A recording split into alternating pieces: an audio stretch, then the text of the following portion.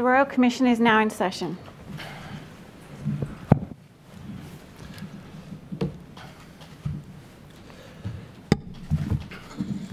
Good morning, everyone. Um, on behalf of the Royal Commission, I welcome everybody who is present today uh, at this hearing being held in Homebush.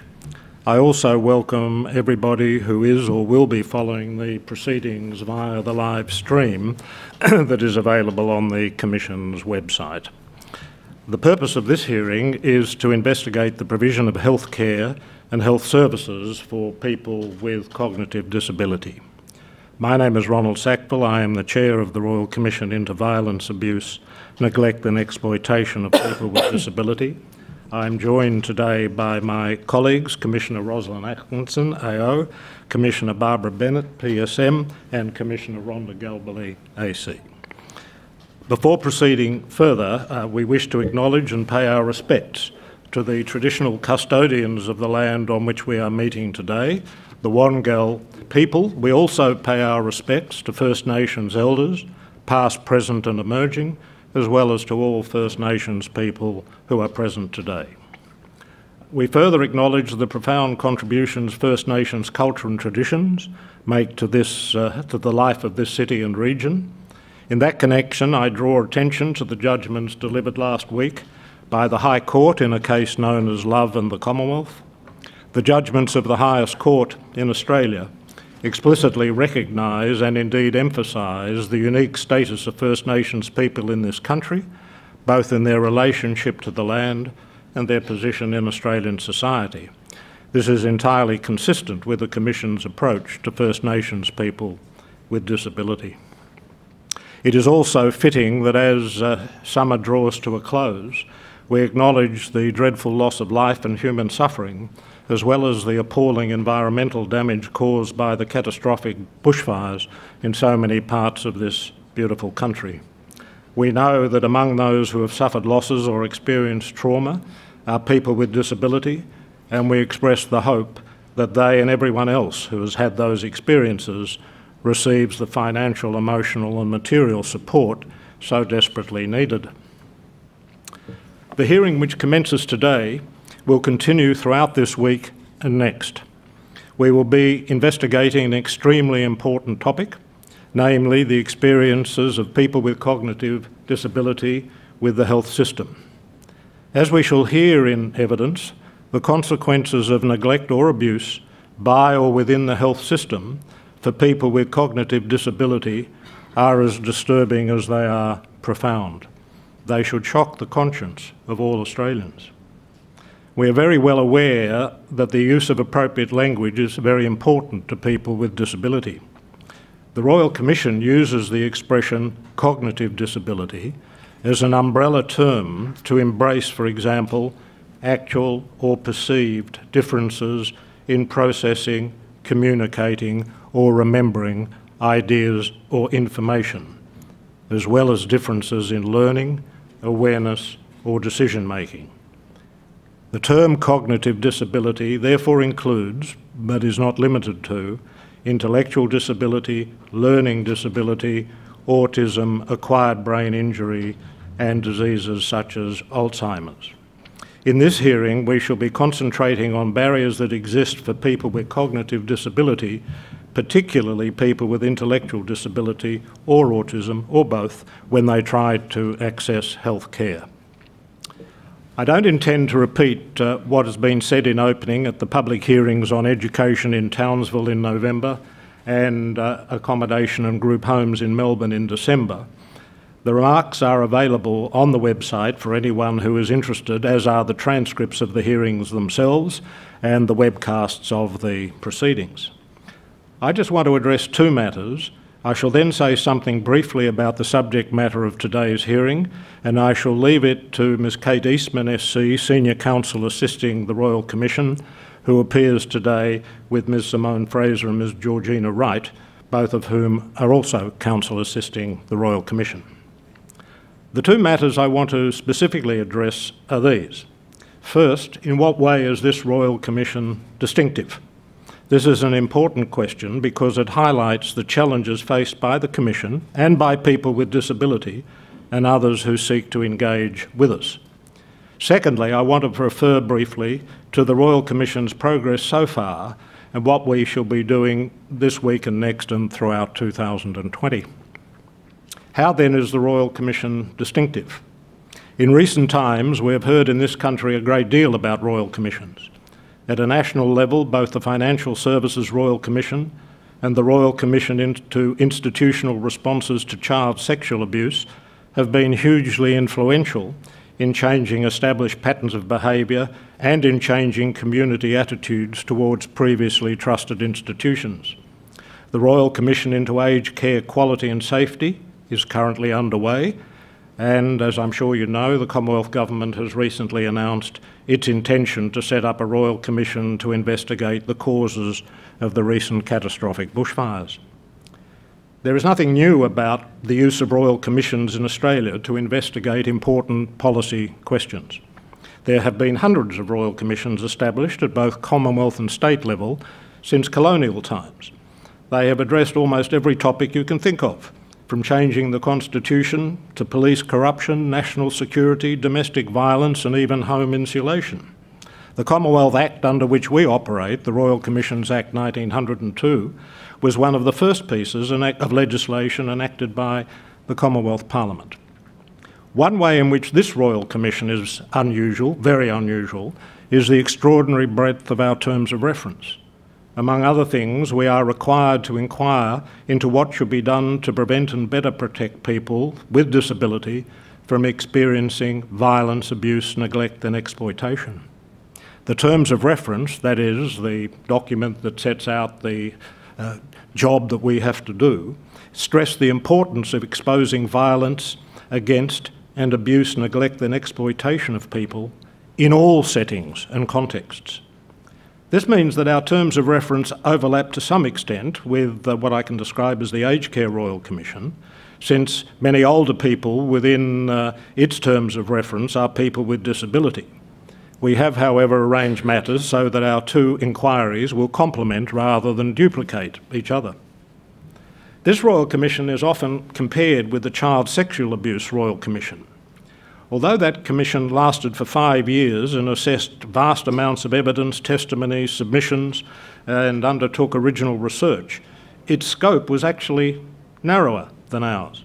Its task was to investigate institutional responses to child sexual abuse and to make recommendations about eliminating or reducing child sexual abuse in institutional contexts. By contrast, our task is to investigate abuse and neglect in all settings and contexts. This includes, for example, abuse and neglect perpetrated in private homes or by businesses as well as abuse and neglect resulting from societal attitudes towards people with disability. You can see the scope of our task from the subject matter of hearings that have already been held or will be held during this year 2020, bearing in mind that there will be multiple hearings on some issues. The matters that have been addressed or will be addressed include education of students with disability, the experiences of people with cognitive disability within the health system, what we will be looking at over the next two weeks. Violence, abuse, neglect and exploitation experienced by people with disability in their own accommodation, including group homes. The multiple forms of disadvantage experienced by First Nations people with disability. And this will be done under the guidance of uh, Commissioner Mason uh, with our Indigenous engagement staff who led community consultations with First Nations people in Darwin, Alice Springs and the remote community of Papunya last week. We'll also be looking at the limitations on opportunities for economic participation by people with disability and the experiences of people with disability in the criminal justice system, whether as accused persons, witnesses or victims of crime.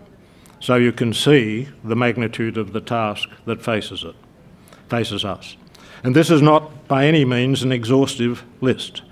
Furthermore, we are acutely aware that the life experiences of people with disability cannot be neatly compartmentalised into self contained categories.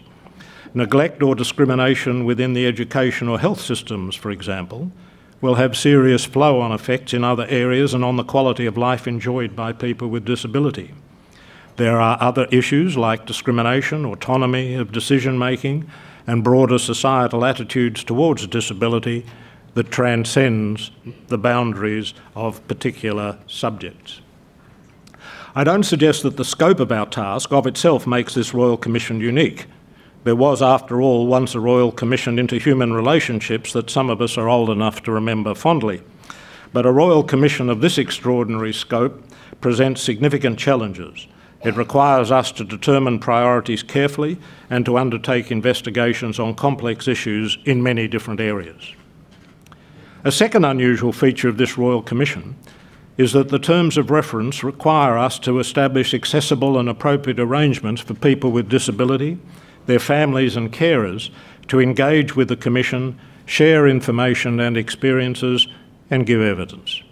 This uh, requirement commits the Commission to a trauma informed approach to all aspects of our work. By trauma informed, we mean that all work conducted by the Commission should be underpinned by an understanding of the physical, social, and emotional impacts of violence and trauma. We acknowledge that people with disability who have been abused or neglected have often been severely traumatised by their experiences. The Commission is therefore committed to ensuring that our policies and procedures and the manner in which we engage with people with disability are trauma informed. We acknowledge that for some people, additional support such as counselling and legal, legal advice may be required to recount their experiences in a manner that is physically, emotionally, and culturally safe. Above all, the Commission's approach must, to the greatest extent possible, minimise the risk of re traumatising people engaging with the Commission. This is not the first Royal Commission that has been instructed to ensure that its processes are trauma informed and that people engaging with the Commission receive sufficient support to be safe and comfortable. The Child Sexual Abuse Royal Commission, for example, was also expressly obliged to take into account that people affected by child sexual abuse have often been severely traumatised and have special support needs. Where this commission is unusual and perhaps unique is that the focus of our attention is on people who have not only had traumatic experiences during their lives, but those traumatic experiences are directly associated with their disability. For example, during this hearing, we, there will be evidence about the formidable obstacles encountered by people with intellectual disability in obtaining accurate and timely diagnoses and treatment of serious health problems. It is vital that we hear firsthand from people who have had experience of the kinds of neglect and abuse, of this, these kinds of neglect and abuse, and that we benefit from their insights as to what can be done to make things better. The Commission has already seen the value of evidence, of, of receiving evidence from people with cognitive disability. For example, we have received many insightful submissions from people with intellectual disability and heard their experiences and opinions at workshops and community forums. You will find extracts from evidence given at the Homes and Living hearing dealing with accommodation issues by two advocates with intellectual disability, Jane Rosengrave and Colin Hiscoe, you'll find extracts from their evidence in the first progress report of the Commission that was published in December 2019. It is an essential part of our work to ensure that people with cognitive disability can give their evidence in a manner that is comfortable for them, safe and trauma informed. This is critical to fulfilling our responsibilities. Advocates and witnesses themselves have suggested ways in which we can make this hearing safer, more inclusive, and more accessible. And we are extremely grateful for the advice that we have received. The steps that have been taken to support witnesses who will give evidence at this hearing include extensive discussions with senior counsel in the presence of a counsellor, legal advice for those who wish to have it, counselling support throughout the process and afterwards, modification of this hearing room to remove barriers and make the room more comfortable for witnesses. People present today can see the differences between this setup and the usual appearance of a hearing room. It is, in fact, quite different.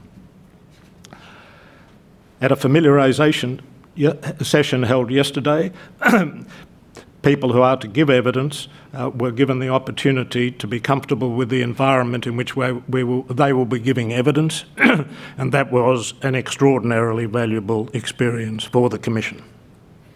Let me now deal with the progress, pardon me, of the Royal Commission. The Royal Commission is committed to transparency in communicating to the disability community and the Australian community at large the progress of our work. It was for that reason that we published in December the first progress report of the Commission. The report summarises the major activities of the Commission since the commencement of operations, including the public hearings, workshops, community forums, issues papers and research projects. The first progress report is available on the website and in easy read format, and I suggest that anybody who is interested in the work of the Commission should, if possible, read one or other versions of this document. I won't repeat the information in the report, but I do want to refer to some developments that post-date that report. The progress report recorded that by the 10th of December, the Commission had received 428 submissions from people with disability and their families, experts, institutions, government agencies, and other interested parties. That figure is now 590, and in addition, we have received 72 responses, some extremely detailed, to the four issues papers released so far. These issues papers concern education, health, the subject of this hearing, homes and accommodation, and the criminal justice system. The last of these was released in January after the progress report was published. Many submissions that we have received recount the experiences of people with disability.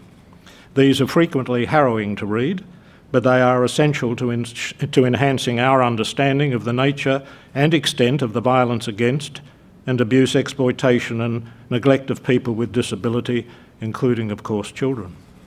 These submissions not only inform us, but they can provide a platform for further investigations, for example, to gather evidence to be presented at public hearings such as this one, or to determine whether referral should be made to other agencies. We sincerely thank all who have taken the time and effort to share your experiences with us. We have also received numerous submissions from advocacy groups, individual advocates, academic institutions, researchers and public agencies. Many of these submissions are deeply informed and supported by careful research or long experience. They are of great value to our work, and many are likely to be very influential in shaping the content of public hearings and ultimately the recommendations made by the Commission. We encourage people with disability, advocates, and all interested parties to continue making submissions. The very best way of influencing a Royal Commission is to engage with it and communicate your experiences and point of view. We have recognised from the outset that many people with disabilities, such as those in closed institutions or people who need support for communication, are unlikely to engage with the Royal Commission unless we take active steps to seek them out. To that end, among other initiatives, we shall be establishing a Disability Strategic Engagement Group to facilitate and encourage engagement with as many people with disability as possible. As the progress report recorded, we have already established a First Nations Strategic Advisory Group under the guidance of Commissioner Mason. The progress report also referred to recent amendments to the Royal Commissions Act, which authorise us to conduct private sessions for people with disability. I am pleased to say that the first private sessions were held last week in Melbourne with Commissioner Galbally, who was with us today, a little ahead of schedule. This is a very important development both for the Royal Commission and for people wishing to recount their experiences to a Commissioner in private on a one-to-one -one basis. You can, if you wish, learn more about private sessions from the website and also from one of a series of information brochures about the work of the Commission that uh, will be available later this week. The Commission has continued its program of community forums we held fully subscribed forums in Logan and Ipswich in Queensland in the first week of February. And as I mentioned, uh, last week three commissioners attended First Nations people community engagements in Darwin, Alice Springs and Papunya. I also should mention that the Commission has now established a new and vastly improved website, which I hope will record very many visits. During 2020, We expect to hold at least 10 hearings in all six states and the Northern Territory. Our program of community forums and other engagement activities and consultations will continue. More issues papers will be released. Our interim report, on which work has already commenced, is due in October 2020. It will be a very busy year. Let me say something about this hearing. The human rights framework for this hearing is provided by Article 25 of the Convention on the Rights of Persons with Disability, to which Australia, of course, is a party. Article 25 is quite lengthy, but in essence it provides that people with disability have the right to the enjoyment of the highest attainable standard of health without discrimination on the basis of disability. Among other things, Article 25 obliges states parties, such as Australia, to provide health services needed by persons with disabilities, specifically because of their disabilities, including early identification and intervention as appropriate, and to require health professionals to provide care of the same quality to persons with disabilities as to others, including on the basis of free and informed consent by raising awareness of the human rights, dignity, autonomy and needs of persons with disability through training and insistence on ethical standards. We will hear during this hearing a good deal about uh, the quality of health care provided to people with disability. Ms Eastman will say shortly more about the human rights approach required by the Convention. Uh, during this hearing, as Ms Eastman will also explain, we shall hear from people with cognitive disability and their families about their experiences. We will hear from advocates, experts, including advocate experts, medical practitioners, and representatives of government agencies. The evidence will also address the chronic failures of the health system to provide adequate care for First Nations people with disability, a group that we know experiences multiple forms of disadvantage.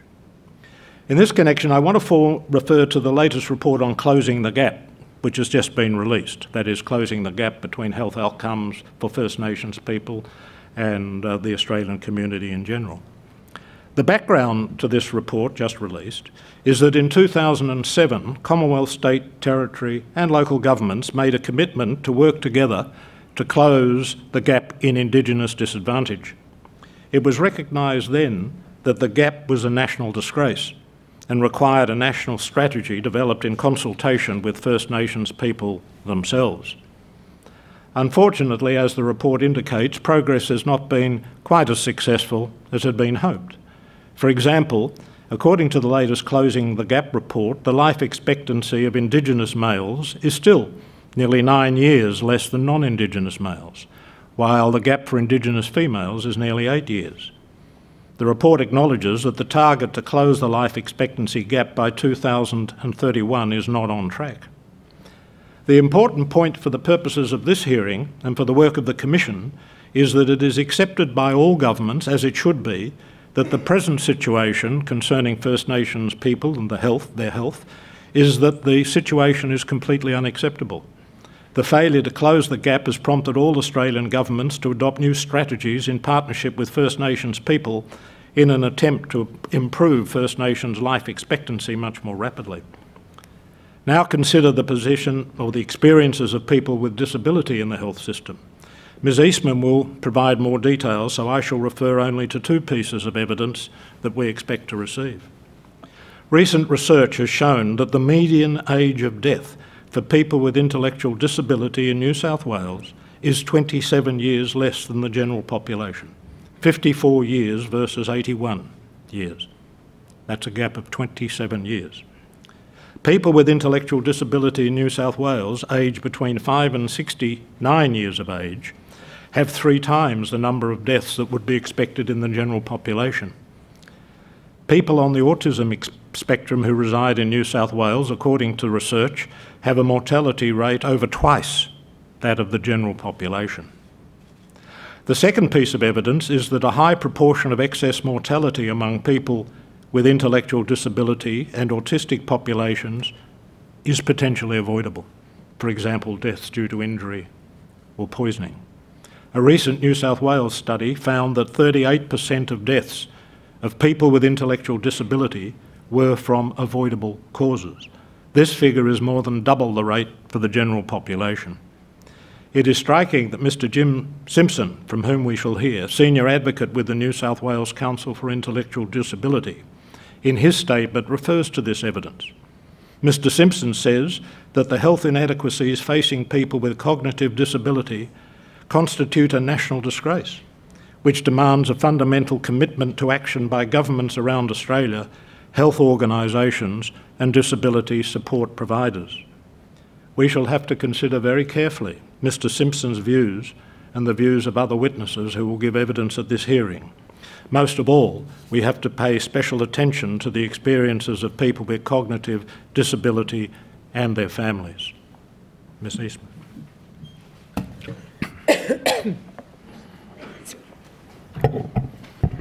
My name is Kate Eastman. I'm Senior Counsel assisting the Royal Commission, and I appear today with Georgina Wright and Simone Fraser of Counsel. We are instructed by the Office of the Solicitor assisting the Royal Commission, in particular Lorna Davidson. In addition to the staff of the Royal Commission, we have also been assisted by Dr Hayley Bennett and Ms Janice Crawford of Counsel in the preparation for the hearing. As Counsel assisting the Royal Commission, we also acknowledge and pay our respects to the traditional custodians of the land on which we're meeting today, the Wongal people. We pay our respects to the First Nations elders, past, present, and emerging, as well as to all First Nations people attending or watching this public hearing. This is the fourth public hearing of the Royal Commission and the first to focus on the area of health. This hearing will be conducted over nine days, this week and next week. I will make some opening remarks today that focus on the broad issues to be explored in this hearing. When the hearing commences next Monday, I'll make some further opening remarks, albeit shorter than today, to focus on the evidence that will be given by the New South Wales and Commonwealth Health Departments. So, where to start? Access to safe, effective, and high quality healthcare is a core human right. As the Chair has identified, this right is provided by the Convention on the Rights of People with Disabilities, commonly referred to as the CRPD. The CRPD guides the work of the Royal Commission and Article 25 recognises the right of every person to the highest attainable standard of health without discrimination on the basis of disability. But the right to health means more than simply being healthy. The right to health includes both freedoms and entitlements. Individuals have a freedom to make decisions and have choice about their health and their body. Entitlements refer to the legal obligation imposed on governments to ensure access to timely, acceptable, and affordable health care of appropriate quality.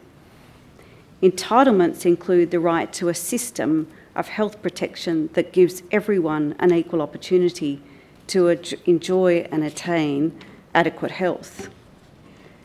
If we are to take a human rights based approach, it must mean that we focus on meaningful participation in healthcare systems and practices. Participation means ensuring that people with disability and their advocates are meaningfully involved in all phases of the health system, from assessment, analysis, planning, implementation, monitoring, and evaluation. In the context of Australia, this means all aspects of our health system, Professor Stephen Leeder will give evidence on Thursday and he will provide a very high level overview of Australia's health system.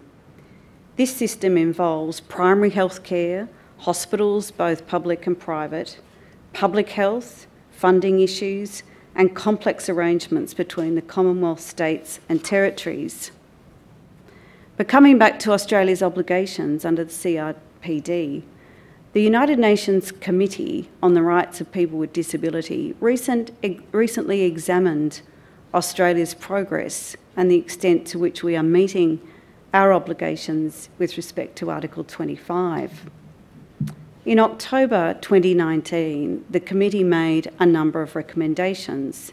In summary, the committee expressed concerns about the significantly poorer uh, health outcomes and access to information to health.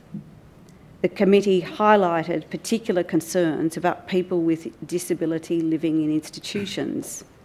The committee recommended that Australia revisit its approach to the access to information on an equal basis with others, that Australia look at affordable, accessible, quality and culturally sensitive health services, equipment and related health activities.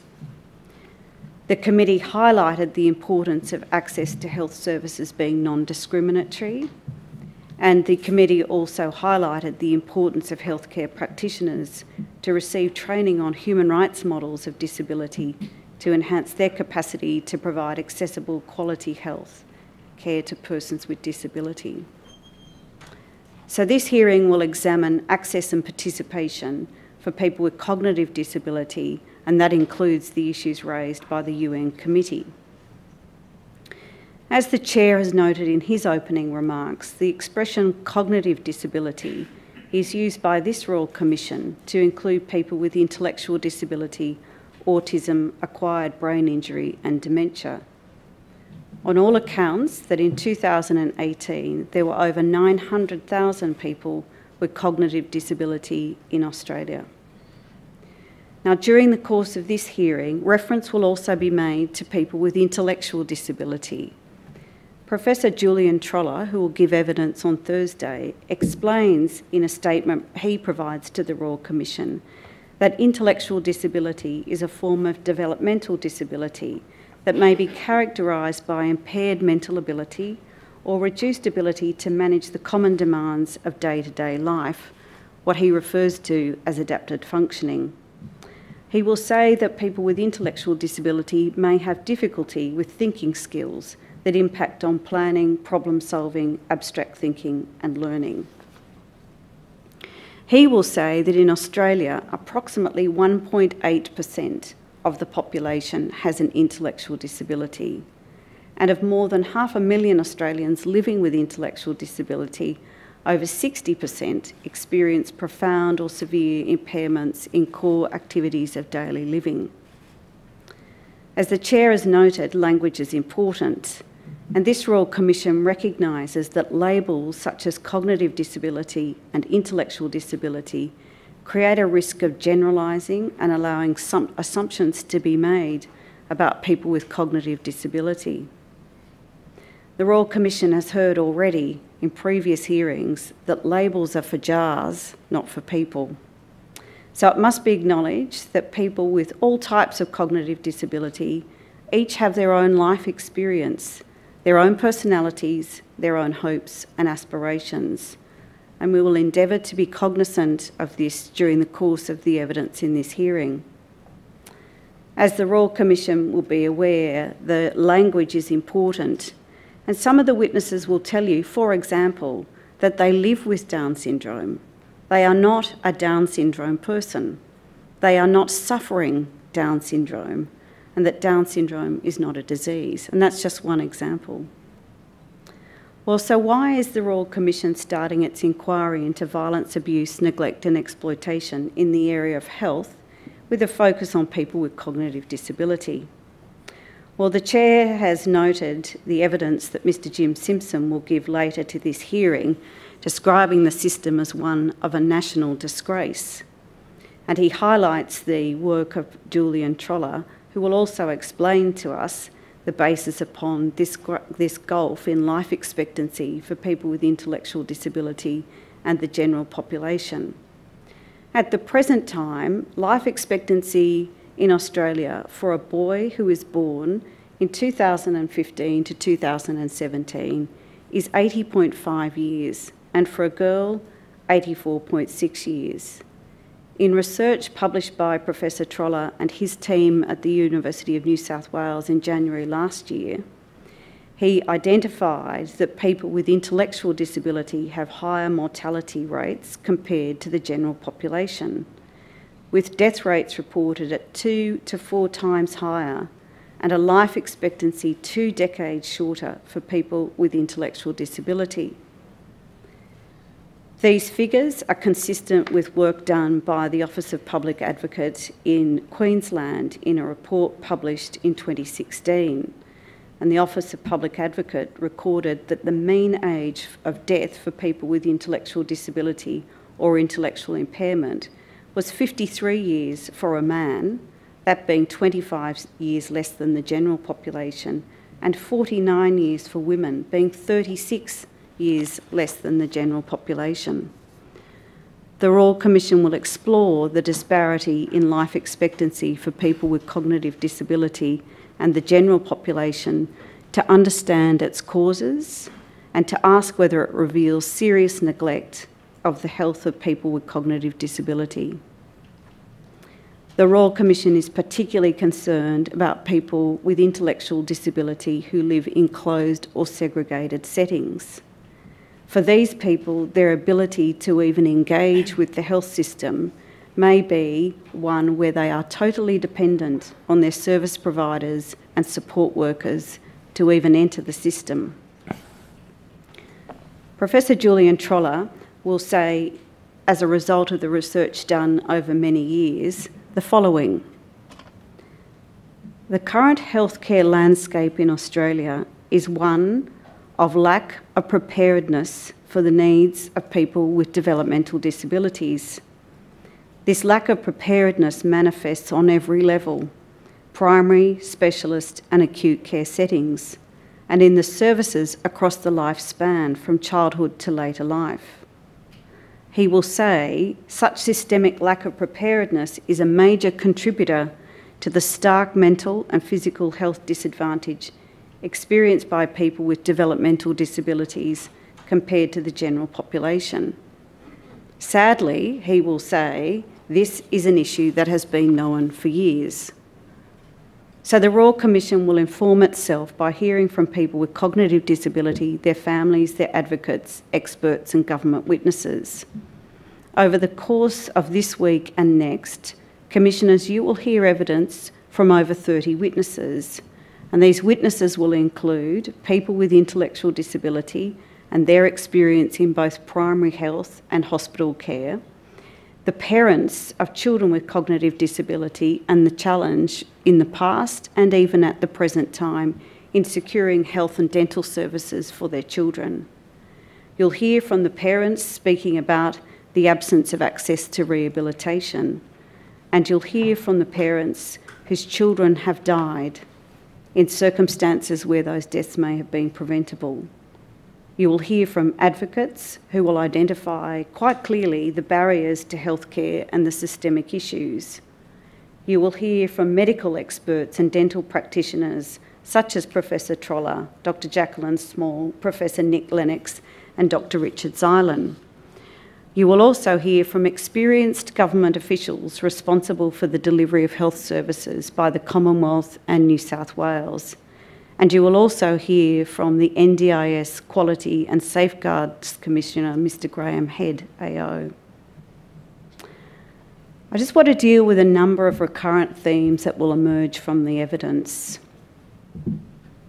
The first is about the judgment that may be made about the value of a life with intellectual disability. Rebecca Kelly, who will give evidence later today, will tell the Royal Commission this. There is a huge issue around ableism among medical professionals, where there is a clear lack of knowledge about intellectual disability, what it means for a person, as well as understanding the potential and value of a life lived with intellectual disability. She will say there is a perception that life with an intellectual disability is often seen as a life better avoided through screening and pregnancy termination, rather than a life of value, meaning, and purpose. Toni Mitchell, who will give evidence tomorrow, will tell the Royal Commission about her prenatal screen in early 2000. She will tell you that a radiographer informed her that her baby had a heart condition and that her baby was highly suspected of having Down syndrome. His response to giving her this news was to then suggest and give an appointment to arrange for a termination of the pregnancy. you will see tomorrow that that did not occur.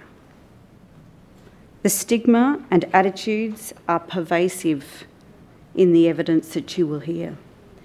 Christine Regan will tell the Royal Commission that she worries that some doctors make decisions based on their perceived relative value of their patient to society. Another theme that emerges is poor communication. The Royal Commission will hear from a number of parents of children with disability who have had experiences in hospitals and the health system more broadly, who will say that it's quite common for healthcare workers not to engage directly with their child. They will speak of occasions when the doctors and other health staff do not even greet their child, let alone explain to the child what is happening even though the child's language is good and the child is capable of understanding what is occurring. But this experience is also shared by adults. And so, adults with cognitive disability will also tell you that it's not uncommon for health staff to talk mostly to their support person or their parent rather than to them. And in the one, words of one witness who'll give evidence shortly, she will tell you, I think doctors need to speak to the person with intellectual disability and not somebody who's with them. And she'll say, I can make decisions of my own. So the Royal Commission will examine communication. It may sound obvious, but the need for simple, open, respectful communication with a person with intellectual disability is an important part of supporting participation in the community and access to healthcare. Justine O'Neill and Jack Kelly will talk the, this morning about decision making and capacity and the importance of communication in that respect. The next issue is understanding pain and this concept of diagnostic overshadowing. Diagnostic overshadowing is the misattribution of physical symptoms to mental illness or cognitive disability. Diagnostic overshadowing occurs when health professionals wrongly assume that present physical symptoms are a consequence of a person's cognitive disability. As a result, the patient receives either inadequate diagnoses or treatment, a failure to provide appropriate treatment, or in some cases, resulting in a preventable death. Again, these issues are not new. In May 2009, uh, Michelle McElwain, who was then 28 years old, died suddenly due to bacterial meningitis in a hospital in Sydney. She had a mild intellectual disability. Her death was the subject of a coronial inquest conducted by the New South Wales Deputy Coroner over four days in October 2012. Michelle's mother, Maureen McElwain, brought this matter to the Royal Commission's attention. And she's also provided a submission to the Royal Commission, although she's not giving evidence at this hearing. The coroner's findings are detailed and we will include them in the evidence before the Royal Commission. The coroner heard evidence from the medical staff at the hospital and examined the reasons for Michelle's misdiagnosis and death. He noted a few things.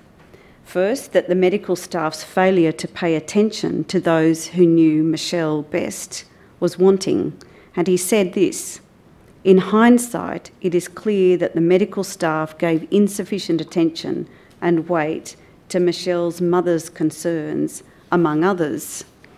And he said this that the medical staff operated on certain assumptions about patients. In particular, they appeared to have operated on the assumption that Michelle's inability to communicate easily with them was due to behavioural issues associated with her disability or that she lacked general capacity to communicate.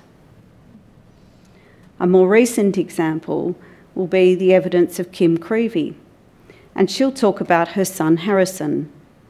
She will tell the Royal Commission about her experiences of unconscious bias. She will tell the Royal Commission about an occasion where a paediatrician made some unfounded assumptions about her son's presentation to hospital with a breathing condition. The paediatrician assumed that the condition was caused by Harrison's disability. And in the course of that consultation, the paediatrician questioned the family about the end of life plan for Harrison. He was present at the time of this conversation. The paediatrician said this How much more money are we going to waste keeping him alive? Ms. Creevey will tell the Royal Commission that it turned out that Harrison's symptoms were just related to acid reflux, and once they were treated, there was general improvement.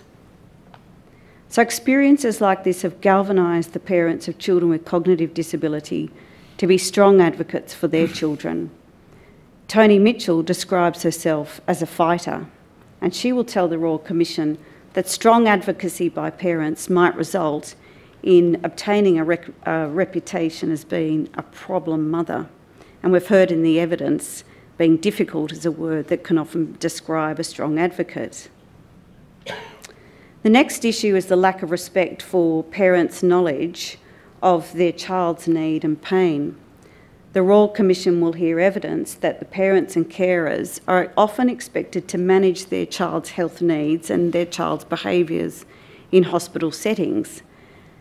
At the same time, when it comes to understanding the child's needs, the parents are not heard and at times ignored.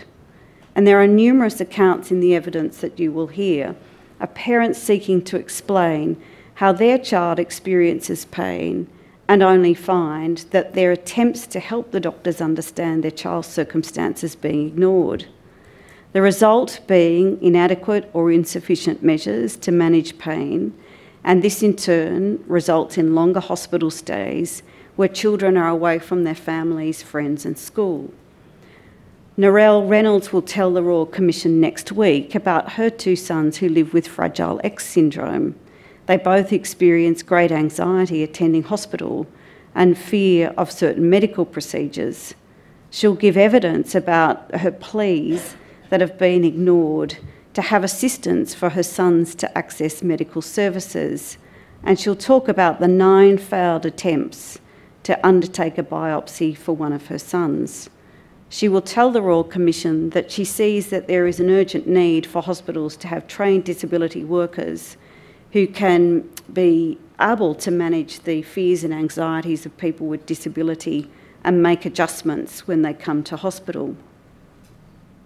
The next theme you'll hear is about trauma.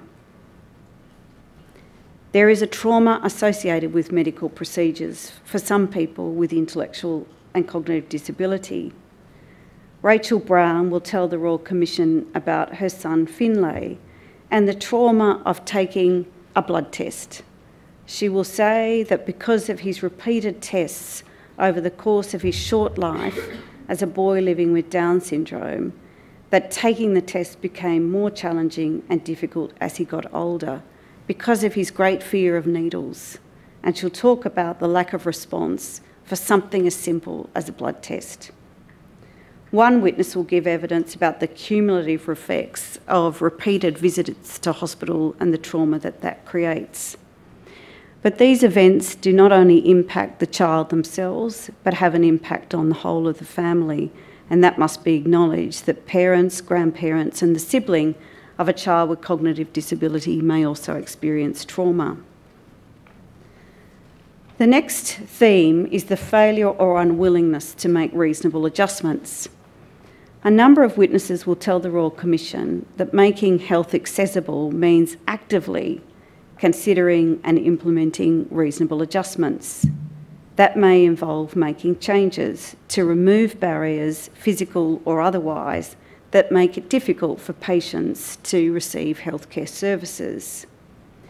Witnesses will tell the Royal Commission that in many cases, a reasonable adjustment is a very small thing it's not costly.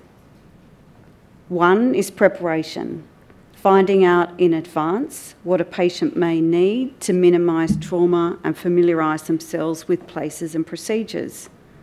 Taking time to listen, to understand and communicate with a person with cognitive disability. And one parent will tell you that an adjustment could be as simple as giving the patient a familiar cup for taking medication. Professor Trollor will tell you about a larger approach to reasonable hmm. adjustments, And he will say the existence of reasonable adjustments is best practice internationally, and that it would be his expectation that reasonable adjustments should be mandate, a mandated requirement for health practitioners and services. This will be an issue I'll explore with him in some detail when he gives evidence on Thursday. So, just briefly, some other issues and themes. The Royal Commission will also hear evidence about the following matters. The lack of adequate education and training for those working in the health system, the uh, often failure to include people with cognitive disability in how doctors are educated, the importance of continuity of care, the transition from paediatric care, issues around preventative health, issues around dental care, dignity in death. Rachel Browne will tell you that something as important and as simple as not describing a person's disability on a death certificate when the cause of death is unrelated to the child's disability is a very disturbing and traumatic experience for her and her family. Other issues are gaps in data collection and the need for targeted and accurate data. People will give evidence about the difficulty of raising complaints about their treatment and also the inability to find out what happens when complaints have been raised. They will talk about the difficulty of accessing medical records and medical reports. They will talk about the importance of community visitor schemes. This Royal Commission will also focus on the health of First Nations people, and you'll hear evidence of Dr Scott Avery next week that will address this issue in some detail. But on the themes, can I just use the words of one witness? And she'll tell the Royal Commission this. She will say, I am consumed with anger at the injustice and everything that has happened to my son that he has not had timely access to dental and healthcare needs. Organisations can write glossy statements and protocols, guidelines, and say they are meeting all the legislative requirements for equal access, but in practice, this is not happening, especially for people with complex behavioural issues. So, what can be done to address and remedy the barriers to healthcare and preventable deaths for people with cognitive disability? The Royal Commission wishes to explore this issue in depth. Every witness who'll give evidence at this hearing will tell the Royal Commission about their views and suggestions for improving health outcomes, both in terms of systems and practices. Uh, and as I mentioned, we'll look closely at the evidence of the Commonwealth and New South Wales governments next week.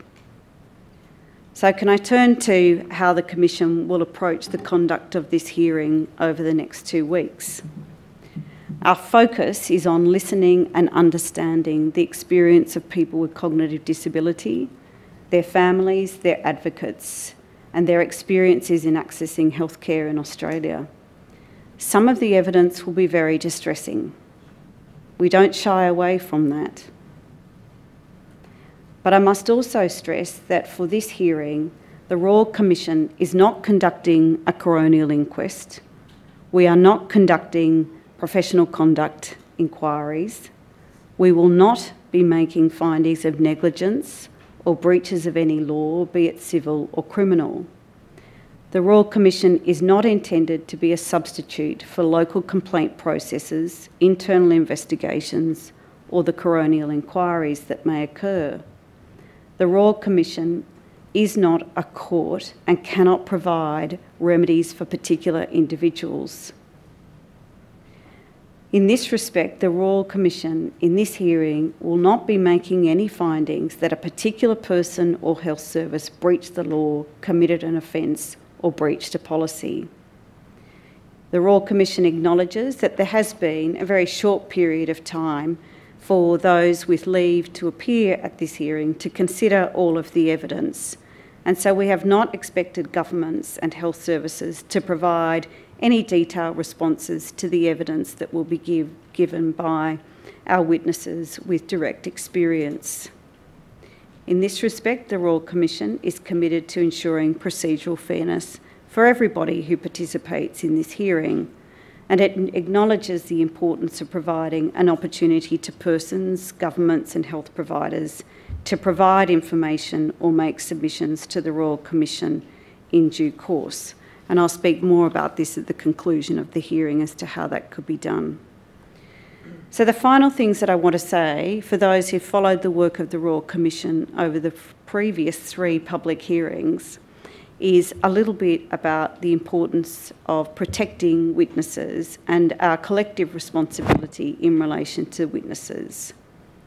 There are provisions in the Royal Commission Act which have the very clear object of protecting witnesses who give evidence before the Commission.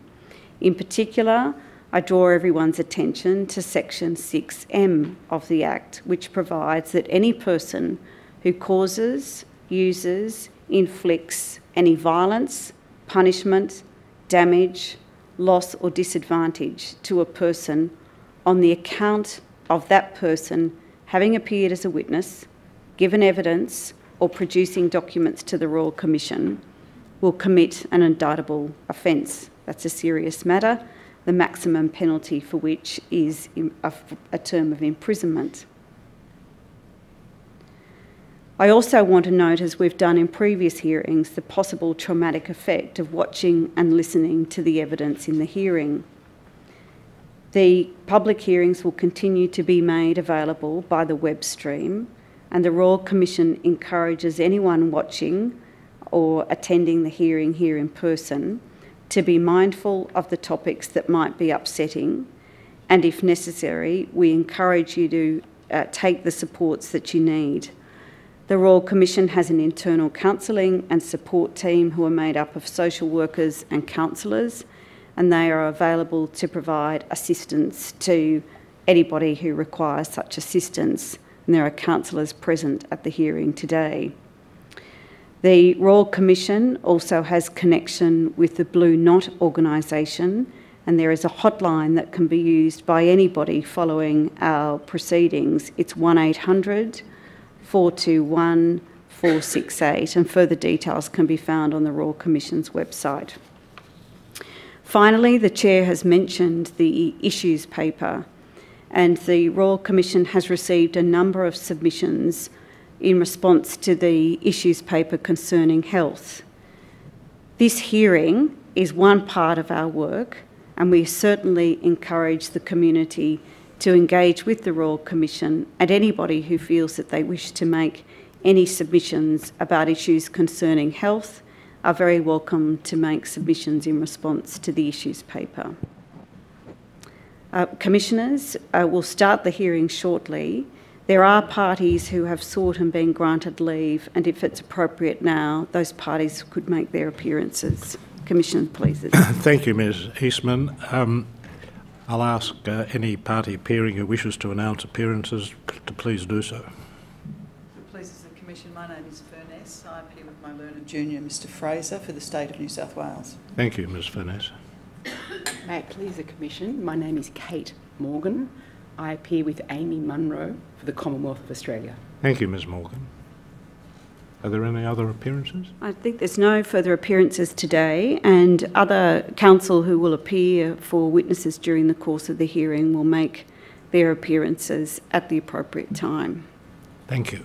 we will now take a short uh, a break, 10 minutes or so. There will be another break before lunch, uh, but uh, this will be, we shall resume it being 11 o'clock at 11.10 a.m., more or less. Commission pleases.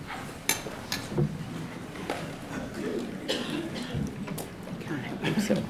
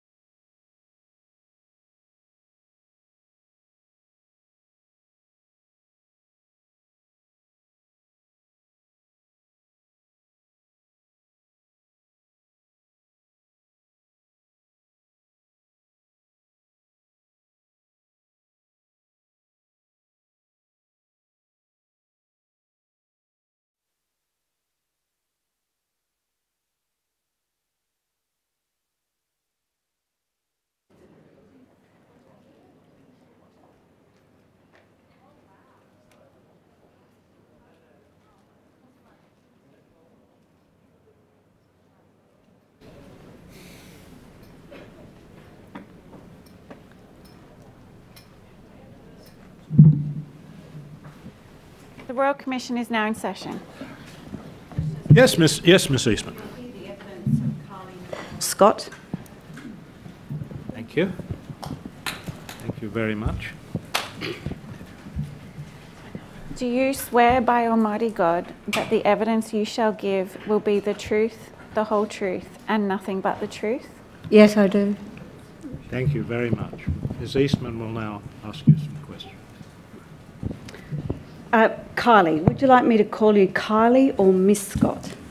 Uh, Kylie, by my first name. So, Kylie, you've got some papers in front of you, Yes. and I'm going to take you to particular paragraphs that you have highlighted, and I'll ask you some questions. Is that okay with you? yes. So, first of all, can you tell the Royal Commissioners what is your full name? Kylie Nicole Scott. And Kylie, if, I, if you have a look at paragraph five, Mm. since 2016, you have been a disability consumer representative for the Sydney Local Health District. Is that right?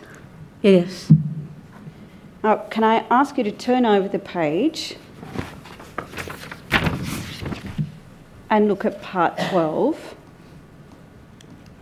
In June last year, that's 2019, you presented a speech called Improving Engagement with People with Intellectual Disability at the Sydney Local Health District Patient and Family Experience Symposium. Do you remember making that speech?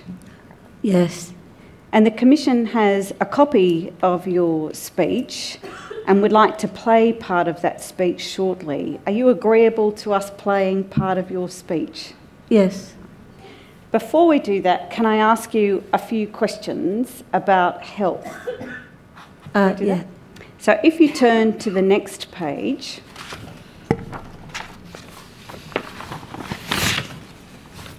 In the statement that you provided to the Royal Commission, you talk about healthcare and health services and how you feel about going to the doctor. So, can I ask you to just read to yourself paragraph 15 and I'll ask you a question about that? So, number 15.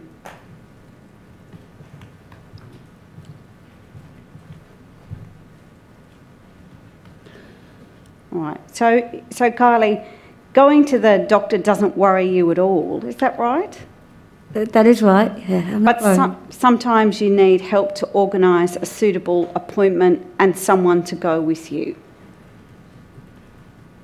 Yeah.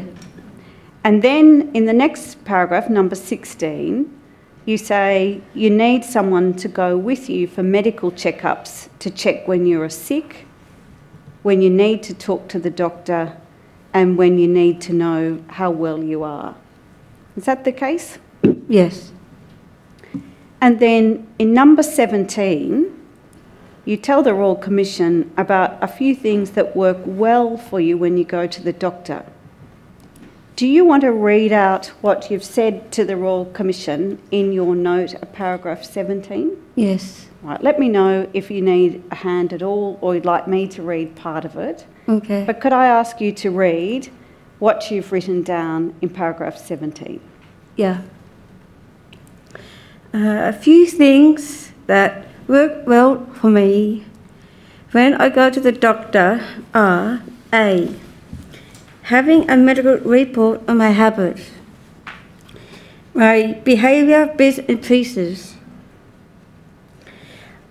B.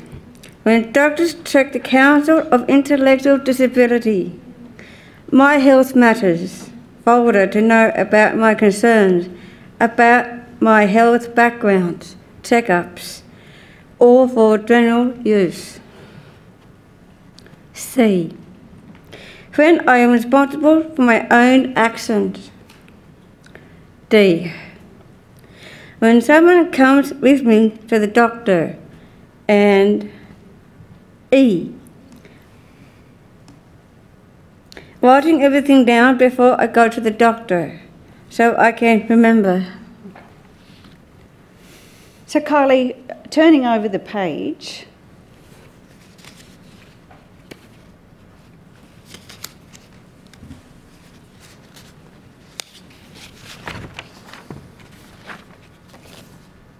You wanted to tell the Royal Commission about how important communication is. Is that right? That is right. And uh, can I ask you to look at paragraph 24? And do you want to tell the Royal Commission that doctors need to communicate properly to people with intellectual disability? Is that right? Yes.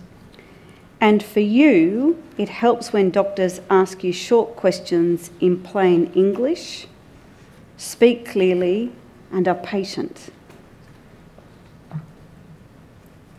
Uh, yes. And that helps you make decisions. Is that right? That is right.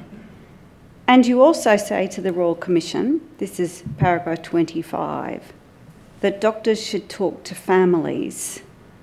If someone's child has Down syndrome, they can take it on board and see what's going on.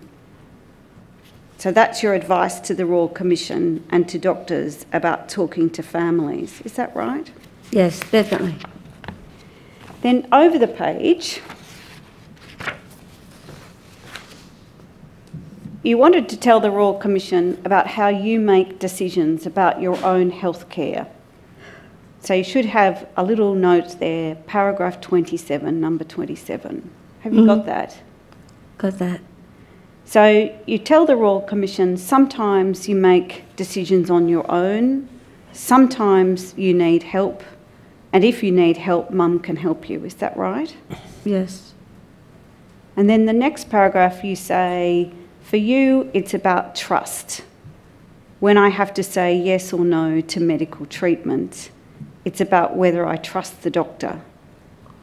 So, trust is an important thing for you. Is that right? Yes, ma'am. Now, then you wanted to say a few things about what you think doctors and nurses should know. So you, wanted to talk to, to tell the Royal Commission the things that doctors should know. So if we turn over the page, at the top of the next page, you've told me you've thought very carefully about all of these points and they're very important and you wanted to read them yourself. Yes. So, um, can I ask you to read and take your time? If you want me to read part or ask a question, just let me know. Okay. Let's go. Um, A. People with disability need, need to get ear, nose, throat tests done. B. It is important to assess mental health.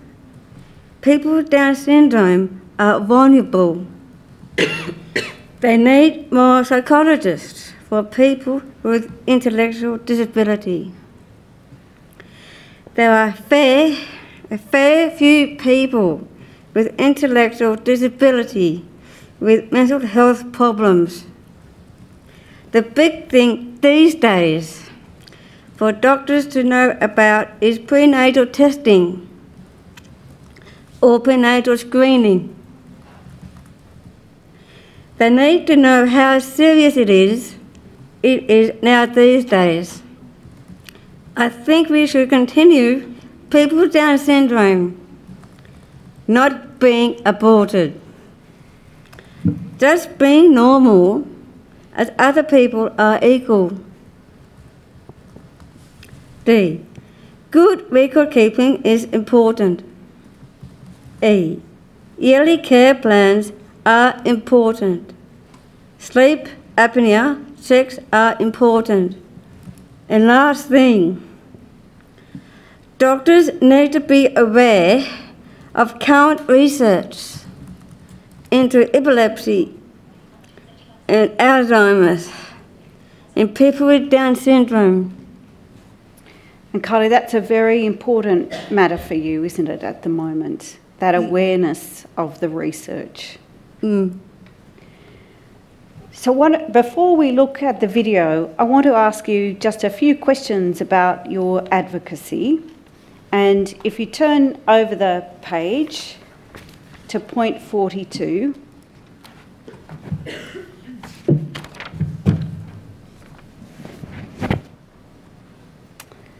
You tell the Royal Commission that people with intellectual disability are becoming more independent and visible. Is that right? That is right. And that's your experience of being more independent and visible. You live by yourself in your own apartments. Yeah, I am, yes. I live in Zetland uh, near Green Square Station, and people uh, find the houses uh, um, very hard to find. So my family discovered my path to live independently for myself. And you tell the Royal Commission that people with intellectual disability are now learning to self advocate and be more in- independent. Yeah, in, sorry, in fair few of people, in my case, with intellectual disability, um, we've got a fair few of people. Um, they're um, hiding in um, ghettos, but they don't seem to get out. So, um, for them to, people with disabilities, to um, to find their voice and to be heard, and of course, live in their independent living as much as they can. And the final paragraph of your statement, paragraph 43, you wanted to read that out aloud to the Royal Commission. So, can I ask you to read that? Yeah, can I stand up? You can stand up.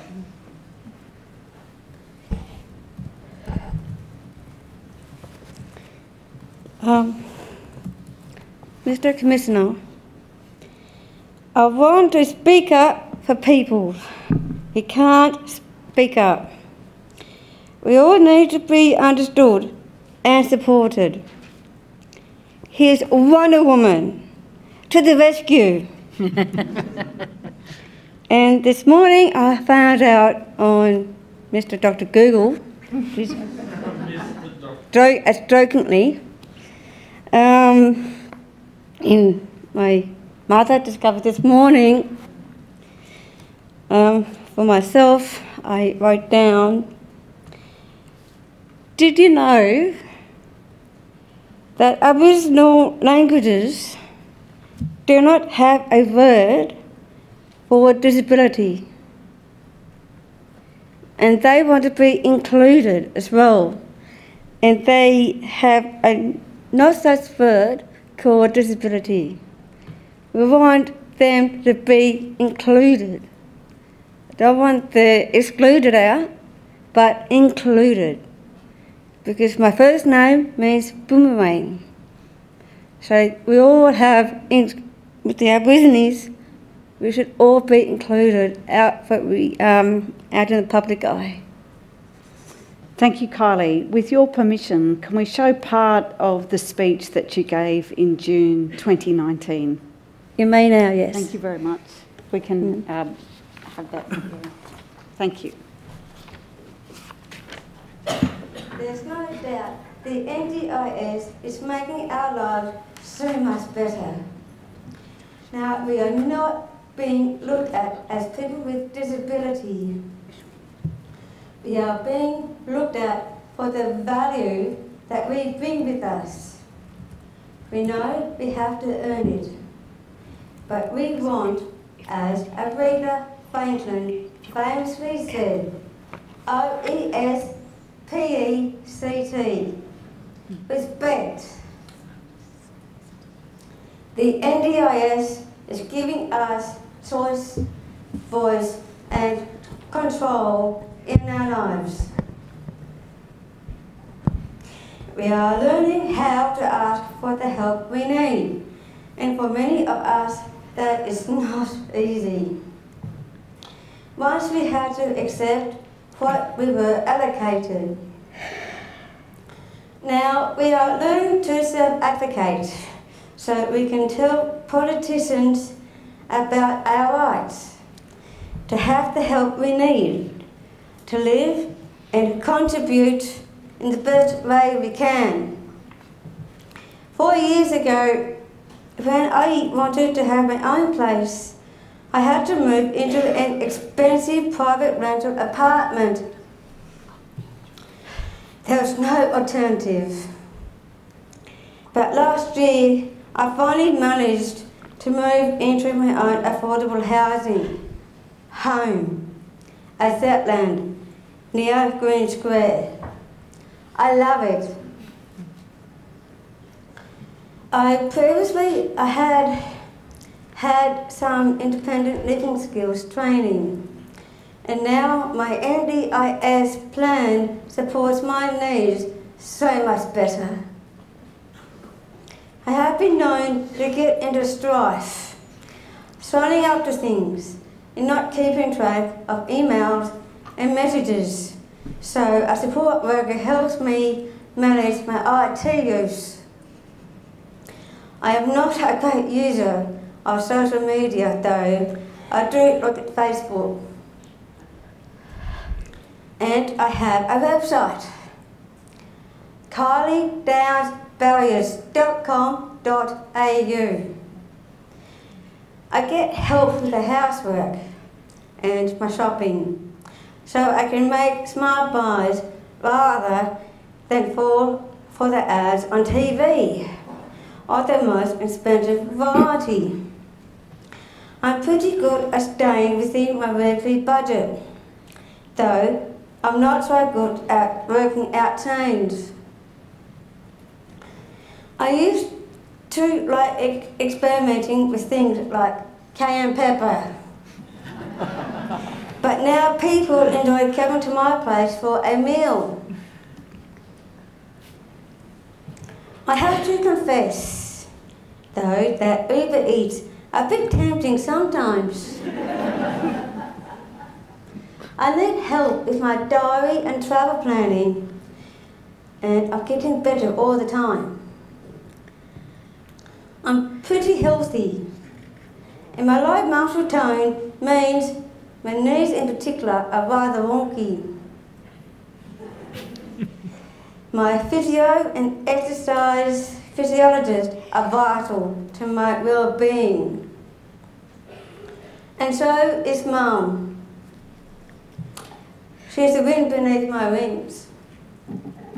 She's oversees all my medical and other appointments. She writes my talks. But I make sure I edit them. so, yes, there have been downs, a lot of them in my life. But, like all of you here, you learn from all our experiences, the ups and the downs. The difficult years after my parents' divorce, the ever worsening job situation when I just did not know how to ask for help. In my father's death from cancer last year, have made, all made me the person I am today. Finally, I uh, want to highlight some of our often unrecognised assets as identified by researchers. We have heart qualities, We relate well to others. We respond to positive human contact. We have concern for others. We love with less expectations. We trust and are loyal. We are generous. We bring forth gentleness in others. We enjoy simple pleasures. We tend to be honest and truthful. We have concrete, that is black and white logic. We are less sidetracked and we have less intellectual vanity. We are straightforward and not bold about being like a Kardashian.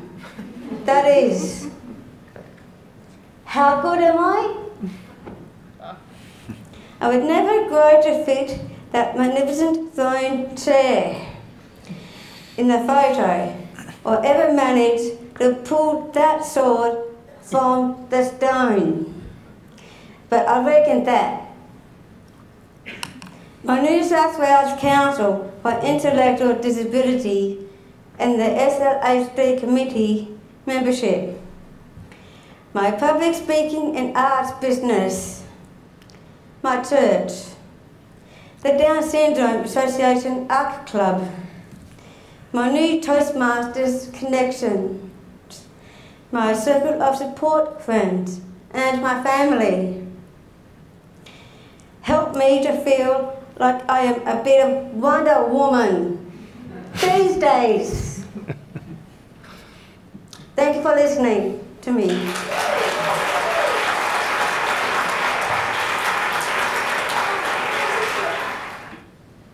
Commission pleases, that's Ms Scott's evidence. If the Commission could take the evidence as an exhibit and mark it Exhibit 4.1, a copy of the statements found in the tender bundle Part A behind tab 1. Uh, if it's convenient uh, now to have what will be the morning tea adjournment for 20 minutes, our witnesses following that break will be Jack Kelly and Justine O'Neill. The Commission you. pleases. Kylie, thank you very much for sharing your experiences and your ideas with us. They are very important to us. Thank you so much. Thank you. All right, we shall now resume at 11.55.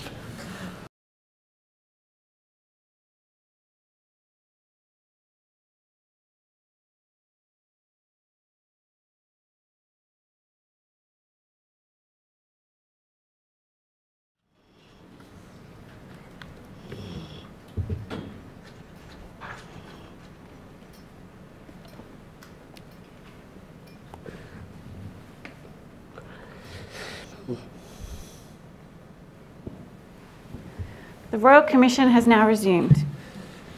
Yes, If, Mr. if the Commission pleases Ms Fraser is taking the next witnesses. Thank you. Commissioners, we will now receive evidence from Jack Kelly and Justine O'Neill. Jack, I understand that you would like to take an oath. I do. Thank you. Do you swear by Almighty God that the evidence you shall give will be the truth, the whole truth, and nothing but the truth? Yes. And Justine, I understand that you would like to take an affirmation. Yes. Do you solemnly and sincerely declare and affirm that the evidence you shall give will be the truth, the whole truth, and nothing but the truth? Yes. Ms. Jack- Fra- Ms Fraser will now ask you some questions. Jack, could you please state your full name for the Commission? Uh, Jack Kelly. And are you happy for me to call you Jack? Yes. And Justine, your full name is Justine O'Neill. Yes. And you're happy for me to call you Justine? Yes. Justine, you have provided a statement to the Royal Commission dated 11 February 2020. Yes. You have a copy of that statement with you now. Yes. And the contents of that statement are true and correct to the best of your knowledge. Yes. And you have included in your, your statement a copy of your curriculum vitae. Yes. Commissioners, the statement is at tab 1 of Tender Bundle B, and Justine's curriculum vitae is at tab 2 of ten- Tender Bundle B. Thank you. Justine, you are the Chief Executive Officer of the Council for Intellectual Disability, Yes. and the Council for Intellectual Disability is commonly referred to as CID, Yes. and you are happy for me to refer to it as such. Yes. Uh, what sort of work were you involved in, Justine, prior to commencing with the Council for Intellectual Disability? I'm a social worker by training. I've worked in health settings, hospitals, sexual assault services um, with victims of crime, um, homelessness, um, and so on. But for um, close to 15 years, I worked for the Office of the New South Wales Public Guardian. And can you tell the Commission what sort of work uh, CID undertakes? Sure. CID is a systemic advocacy organisation. We've been around for about 60 years, and thanks to the efforts of some in the room today, we're an organisation led by people with intellectual disability. Over 50% of our board um, are directors with um, intellectual disability. And Jack, you're a colleague of Justine's at CID. Yes, I am. And what sort of work do you do there? So I am. I am a project worker, and I work on uh, facilitating to um, focus groups on different areas of topic in, in relations to pe- people with an intellectual disability and um, work on easy read documents and um, among other things as well. I'm going to hand over now to Justine, who's going to ask Jack some questions. And for the information of everybody present and watching on the live broadcast, these questions and answers have been developed by Justine and Jack together. Please, please go ahead, Justine. Okay, so thank you for the opportunity to um, give our evidence in this way. Um, we've prepared questions together and answers together based on previous work together and, and more recent conversations. So, Jack, how do you like to make decisions? I like to gather my information first and think about what the logistics of the location and the opportunity. Mm-hmm. And the pros and cons? Yeah, and the pros and cons of that decision. Do you like to talk to anyone else? I, I do like to talk to family, friends, and my support workers that I work with. Do you have to talk to other people? Um, not, not if I don't choose to, but mainly I do like to use them as a sounding board. Um, and sometimes you will do some things alone, like go to the GP. Yep. Um, what about time? What, can you say something about um, the importance of time in getting information and making decisions? I, I like to get enough notice so I can work around the logistics of my decisions and to think about the pros and cons and how, how it will benefit me in the long run. Um, you gave an example when we were preparing about talking through worries, and you gave an example of when you were thinking of what type of work you might want to do, um, and working in an office, and you were concerned about your typing skills. Yeah, well, I was, but then um, technology is such a great where dictation can help a lot in that way, so I can be independent and um, um, work uh, work efficiently as much as possible. Right, so you were able to get some information about things that could help um, remove that worry so it wasn't a barrier to you. Yep. Um, do you have to say yes when you're asked to do something? I've I've learned over time. I no no I don't, but I've learned over time it's okay to say no and um just focus on the decision why you say no to that opportunity at that time. Have you always been a confident decision maker? Um, not really, but I think I'm really evolving as a person over time has really helped me with the people that I've met and the um, and the decisions that I have made down the track. And I heard you say that you used to be extremely shy. Yes, I was. It's it's it's amazing to me um, the the one the the the growth that one person can go to from school to um, after school and into adulthood. And you commented that you've learned with Yeah.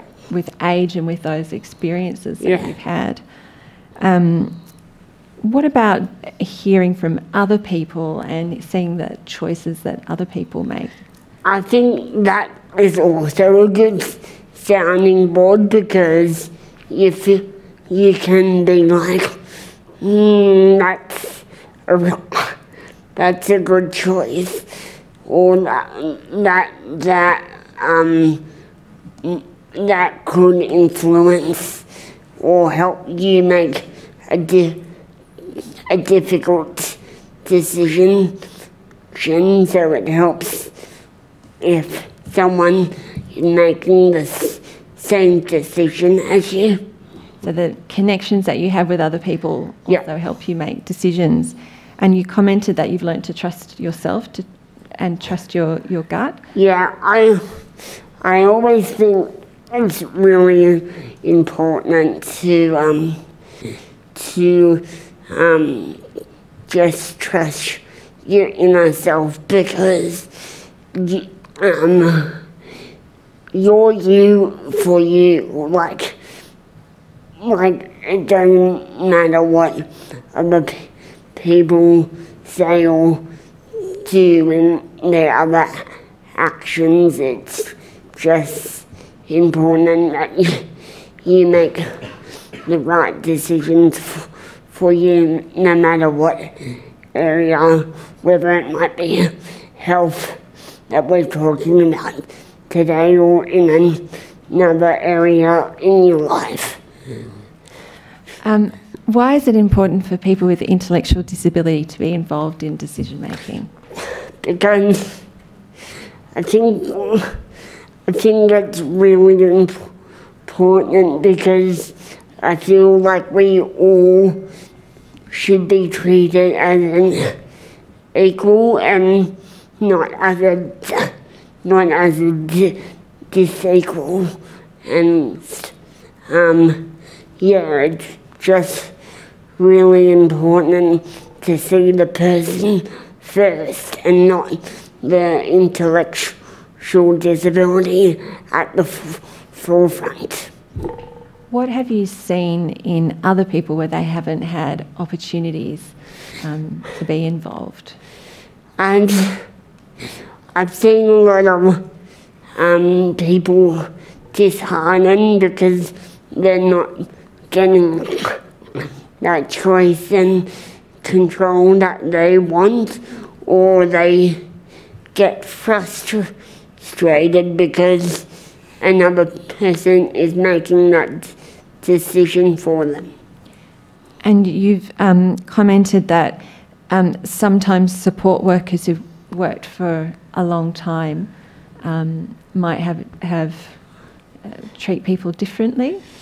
I think it depends on, like, if you've been in the industry a long time or before, or if you came from um, the um, the time in Australia where people with an intellectual disability wasn't heard or wasn't seen out in the communities. They, they were mainly institutionalized, but when you, but if you look at support workers today, they're a lot more flexible and more um, more outgoing because they see the opportunity. They try to, to um, they try to live by the NDIS's stance of voice, choice, and c- control. And you had also just finally had an observation about um, young people in this new system. Yeah, I um, it's interesting because maybe a person with a, a young, me being a person with a, a disability, um, it's um, it's interesting because I have grown up now with the NDIS having all these choices and all these controls versus versus someone that was was in in and oh sorry was in an institution where they were told to what activity that they were to do, what, um, what, like what breakfast that they were to eat that day for, for breakfast, and just stuff like that. And so you're seeing that younger people Yeah. are speaking up more. they have more opportunity, but it's interesting now seeing people with a disability or an intellectual disability um, ha- having those choices because they're not used to having those choices if they grew up in the 60s or 70s. Thanks, Jack. Thanks. Thank you so much, Jack, for sharing your experience. Justine, the statement that you provided to the Royal Commission focused on supported decision making. For the benefit of the Royal Commission, can you please tell us what is meant by the term supported decision making?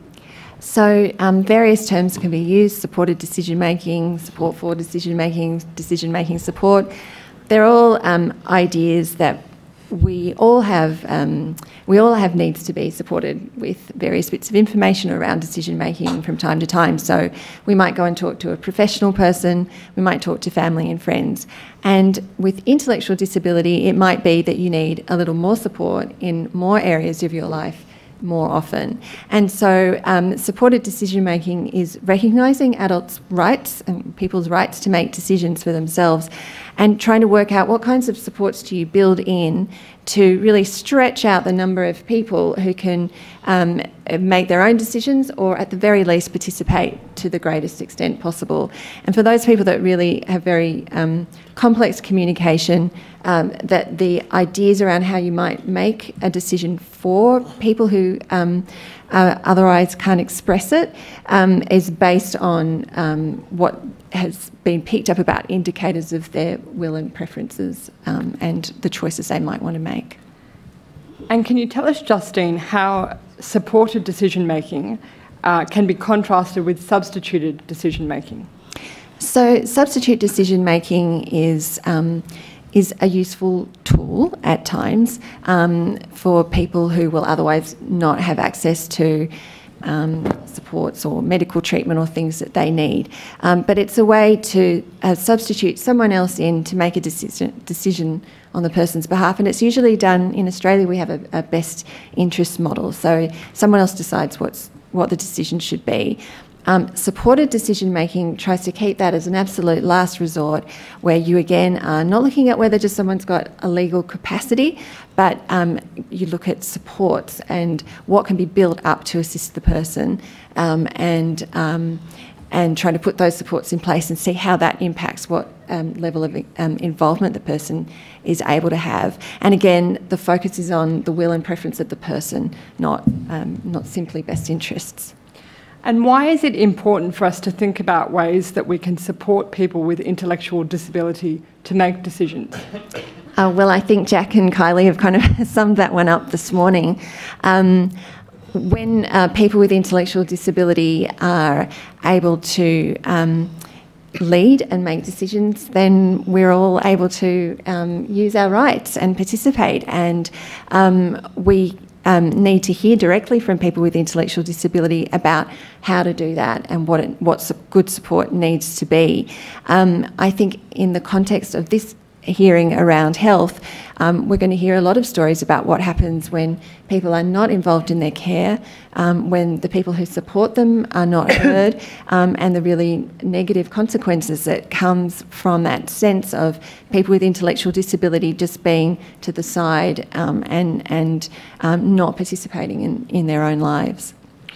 And the example of the exchange between you and Jack that we've just heard now, it's a good example, isn't it, of the inclusion of people with disabilities in decision making and in, in structuring those questions and answers. You and Jack worked on that together and you heard and, and responded to his views. Yeah, so that's one way of, um, of trying to do that work, and it's it's because of our relationship and and who we are. Support for decision making will look different in different settings. It can be a formal legal um, process. So, um, for example, the New South Wales Law Reform Commission um, has um, made recommendations for an Assisted Decision Making Act in New South Wales to replace the Guardianship Act. That's the formal model. Um, and then support for decision making really can take place in any interaction um, at any time. From your experience, what are some of the difficulties faced in building a person's decision making ability? Well, I think again, um, Kylie and Jack have kind of pointed to it. It's this, the most fundamental is um, uh, negative assumptions and um, cultural ideas about uh, people with intellectual disability and what people are capable of. Um, and so that's, you know, the, at the most basic level, that it will always be a barrier. And from the work that I was involved in, in um, some decision making support projects, it was also obvious that it's the people around the person that will determine, and that applies to all of us, will, that will determine whether we become decision makers. So if I'm not seen as someone who has the right to make decisions, if I'm not seen as someone who has the ability to make decisions by others, then there's probably very little chance that I ever will or that my decisions will be acted upon. Um, and I think that I've already forgotten the question. Moving now to some practical um, recommendations, what are some of the practical steps that a healthcare provider can take to encourage supported decision making? Okay, so probably just to go back a little with um, some of the other barriers around time, which is very significant in a health setting, um, and skill and experience. So, um, so support for decision making, you know, it happens in that formal space, but it also happens in an informal way, and it's um, it's encouraged and fostered by resourcing communities, by um, developing policy with people with intellectual disability that is appropriate and that's going to promote good communication and accessibility. Um, so all of those things are the responsibility of organisations like health institutions, hospitals, and so on. So there's kind of a um, a systemic element there that organisations need to recognise their role in um, uh, in creating a process or creating processes for staff that will encourage um, the involvement of people with intellectual disability. And then when we get down to those interactions between people, um, some of the things that Jack mentioned, like um, easy read communication so that people have um, communication coming to them that's in an accessible format, um, allowing the time for information to be gathered and considered and acted upon It's really hard in a health setting. It might be that in some community settings, um, community health settings, there's more time for that to be developed, and in acute settings, um, that might be more difficult, which is why it's really important for those processes to put um, the focus on will and preference and um, make sure that people are recording views. There are also tools for communication that tend to be fairly localised initiatives and they're really good and local stuff is really good. But there also needs to be some leadership and responsibility for making sure that those um, communication tools and resources are available for everyone and known not just by people with intellectual disability and their families, but by the professionals who need to be using them. Um, uh, there are a number of things. you have identified at paragraph 46 of your statement a number of suggestions um, for change, and I'm actually going to take the opportunity to read those, read those now. Supported decision making needs legislative and policy reform to help shift our reliance on substitute decision making arrangements. That was A. B. Supported decision making needs to be acknowledged and supported to develop in communities. It is much more than a set of theories and possible laws. This can be fostered in policy, training and practice and funded through program initiatives. C. Investment of time and resources should be made in developing inclusive practices and accessible communication, which play a key role in supported decision making. D. People with intellectual disability should be included in the development of legislation, policy, practice and training. And finally, E, the NDIS pricing structure should include recognition of the time and support workers need to put into supporting decision making as well as the need for people to have independent support for major decisions and building decision making skills. Are there any of those particular suggestions that you would like to elaborate on at this point in time, Justine? And don't feel that you must. Well, happy to. I find this topic really interesting and could be boring about it for quite a long time. Um, but I think the most important one there is about people with intellectual disability being included. So, for example, we, I, I mentioned the New South Wales Assisted Decision Making Act that was suggested by the Law Reform Commission. Um, not seeing where people with intellectual disability are being invited to kind of lead the discussion about is this the direction we should go in. And I think without um, people with intellectual disability being involved in that way, it's impossible to reach an outcome of inclusion and support and so on if, if there's no consultation about the best way to get to where you think you ought to be going. So, um, and, and, we get a lot of feedback at, at um, Council for Intellectual Disability that um, when we go and do training that for audiences, seeing, uh, we do co-facilitated training, meaning whenever we present information, we, we do it together. Um, and so a lot of audience will say, just seeing that interaction and that relationship and seeing the leadership by the person with intellectual disability, um, it, is often like the biggest part of the learning about shifting your thinking about what's what people are capable of and what you can learn from people with intellectual disability. Who are the people who are going to be most impacted by um, choices made in all of these other areas? And Jack, is there anything else at this time that you would like to share with the Commission? Um, um, not really, not really, but I do feel like we we do have a long way to get um, decision making into the forefront of um, health professionals and service providers. Yes, service providers. And Jack, something that we've heard about a few times already this morning, and we're going to hear about more and more throughout the Commission, is the need for investment in time But of course, you would experience, wouldn't you, that if a doctor invests that time in the first place at initial consultations and each time they see you, the outcomes for you are much better, aren't they? Yeah. Well, uh, it makes going to the doctors a lot uh, better and a lot less stressful in the way of like if feel more comfortable with that um, specialist or GP. So the investment of time, it shouldn't be seen as a burden. No. It should actually be seen as a tool for improvement. Yeah, it should be a positive tool rather than a negative tool. Justine and Jack, thank you so much for coming today to give your evidence to the Commission. Formally, I would like to tender um, Justine's statement. That will be Exhibit 4.2 and Justine's curriculum vitae will be Exhibit 4.2.1. Um, Commissioners Justine will be giving further evidence to the Royal Commission later in the hearing, and as such, um, she will not be excused today, but I would ask that Jack be excused. Yes, Jack can be excused by all means. Thank you very much, Jack, for coming and sharing your uh, uh, experiences about your own decision making and why it is so important for people with uh, intellectual disability. And Justine, thank you for your contributions and your acting role as a uh, counsel assisting the Royal Commission. thank you very much. Thanks so much. Thank you. If the Commission's please, the Commissioners please, the next witness is Ruth Oslington.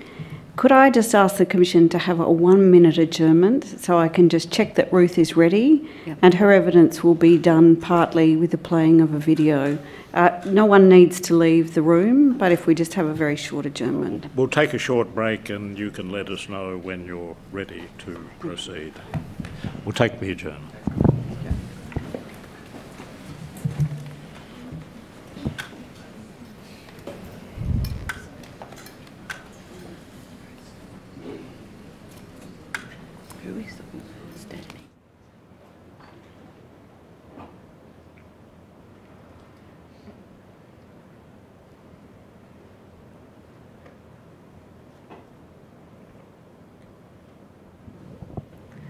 The Royal Commission has now resumed. Yes, Ms East. Uh, Thank you, Commissioners. You'll see that I've changed my location. I wanted to introduce you to Ruth Oslington. Ruth is our next witness, and she uh, confirms that the evidence that she will give will be true and correct to the best of her knowledge and belief, and she formally makes an oath in relation to her evidence. Ruth's evidence is going to be by way of a video of a speech that she made last year. We're going to show the video now, and then Ruth and I will have a conversation after the video, if the Commission pleases. All right, Thank you.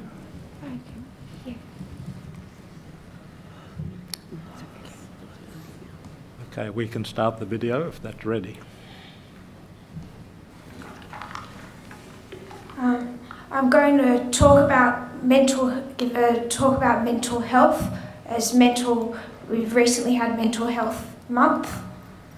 Um, mental illness is an umbrella term used to describe issues with emotion and mood, cognitive or social functioning, or experiences, sensory experiences of things that aren't real to other people. A lot of people with symptoms like this have accessed mental health services and have been given diagnosis, or what I call a label, to attempt to describe the sorts of issues the person has. I personally have been given many labels, and I become frustrated when people hear a label, for example, schizophrenia, and attempt to stereotype the person when two people with the same diagnosis can have very different life experiences and be helped by different treatments. Prefer to call people by their name instead of their label, and when there are problems in the person's life, to describe them and explain what is helpful and what is not helpful. I am a person with lived experience of mental illness. I would say it began in around 2009 when I was 14. It's difficult to say the exact time it started because it was at the beginning when I was becoming a teenager and I also developed a severe gastrointestinal problem at the same time. But I began to self-harm and self-sabotage. I became even more lonely and isolated. To other people, like my friends or health professionals, my behaviour would seem bizarre. They would have a lot of trouble understanding me or my behaviour. I had a lot of trouble understanding what was going on for me, and often it's hard Uh, me or the person to recognise that the mental health problems are interfering with the way they're thinking or functioning or interacting with the world. Over the past 10 years, I've had several episodes of depression and a couple of episodes of mania or high mood. I've had psychosis, which has been in the form of voices or really jumbled thoughts or some strange beliefs. There have been times when I've been a lot more affected or less affected. I've made impulsive and regrettable decisions, including attempting suicide. Spent a lot of time in mental health units in hospital, and my situation has been made more complicated by my gastrointestinal problems and epilepsy. The past 18 months, however, has been a time of relative good health and stability. I still need a lot of support through the NDIS or National Disability Insurance Scheme, but I now have a pretty good quality of life and I'm able to finally do some of the things that I want to. I'm really proud of how I've been able to successfully move out and live in a group home and how I've been able to go to a drama group and make friends and get more confident and improve on my social skills. Two of the main messages I hear around Mental Health Month is firstly that mental illness is a reality for many people. The second message is that if somebody is experiencing mental distress, then to seek professional help. The first out of this message I would certainly agree with, but the second brings up complicated feelings for me. I believe that the public mental health system really needs to be improved, particularly for people who have severe and complex illnesses. For example, I have access to the mental health team that case manages me every day of the year. But if there's an issue going on for me, I often feel like hiding it or not disclosing information because I'm scared of being scheduled in hospital and receiving treatments that I don't want. I've had some really bad experiences in hospital. For example, when I was distressed, I was told by staff to behave, and when becoming more distressed, restrained, I was trying to self-harm in a seclusion room and given injections. I withdrew my consent for ECT or electroconvulsive therapy and despite this, I received approximately 30 more treatments, which weren't making a lot of difference in my condition and were against my will. I broke my leg while having a seizure, but my leg wasn't properly x-rayed for eight days following that, and when it was x-rayed, it showed that my leg was broken. These are just a few examples. What I want to say is that everybody deserves good mental health care. That means care that addresses the practical, physical, social, and psychological aspects of illness rather than focusing only on medication. Nobody should need to be scared of mental health services. Awareness of some of the problems the current mental health system is really needed around mental health, and governments should be committing to improving these services. People should be supported through a process of recovery. Recovery isn't the same for everybody. For one person, recovery might mean returning to full-time work after a short period of break with no clear signs or symptoms of mental illness. But for another person, it could mean being able to live in the community and getting better over time at managing their own money or cooking nutritious meals. People should be supported to make their own healthy decisions, trying to reduce the number of times that involuntary treatment is used. I have received care and support from professionals in the private system and non-government organisation that are doing a fantastic job at providing this sort of support. And I feel that it's made a big difference in my life. I hope that services like this would receive more public funding so people can have an opportunity to build a better life. It's no surprise that there's a lot of stigma around mental health. Some people with mental illness live on the fringes of society, and their social isolation can worsen feelings of sadness and despair. In my life, I found a strong correlation between good relationships with family, friends, and community, and good mental health. Everybody needs social connection, but for people with extra challenges, like mental illness, achieving this can be much harder. People don't want to be seen as their mental illness, instead, as a person with strengths and gifts. People don't want someone standing in and behaving like a pseudo therapist and giving them all their life answers. A lot of people simply need and want a friend to be there for them. Is someone struggling with a mental health problem? Please don't say, oh, your reality is not the same as mine. Your reality is the wrong reality. Don't treat human emotion as merely a pathology of a brain disease. Instead, listen, learn, and understand. Find common ground with people and walk alongside them on their journey.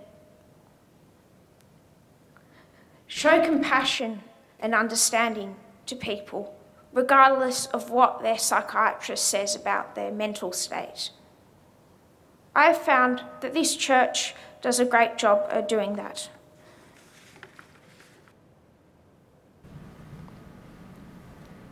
Thank you, Ruth. Yes. So, Ruth has asked me to tell the Royal Commission that since she prepared the video and gave the speech last year, she's had a few health issues recently. And those health issues have had an impact on the way in which she can speak to the Royal Commission today. Yes. But she was very keen to come and share her experiences with the Royal Commission. Yes. So I'm going to ask Ruth a few questions and we're going to take our time. We'll go slowly and you let me know how you want to answer the questions. Yes. So the first question I want to ask you is about labels and stigma. And you talked about that in your presentation. How have labels and stigma affected you in your day to day life? Um, labels, stigma, people make feel all, all the same, feel uh, bunch problems, bunch problems um, together, not a person, not uh, labels, stigma, and um,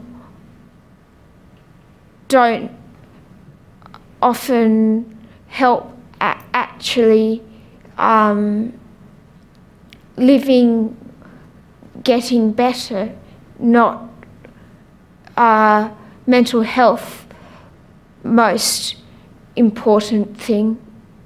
So, that, yeah. So, having the stigma can often be a barrier to getting the health services that you need and your feeling about yourself. Is that right? Ju- um, yeah, yes, judge, judge people by um, by people not even uh, know what meaning of label. Yeah, think yeah. So the next question um, we were going to talk about is what kinds of things have help you talk to doctors when you need to see doctors? So what kind of things help you? Help um,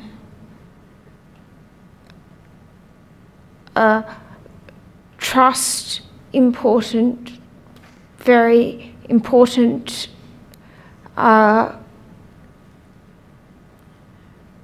um,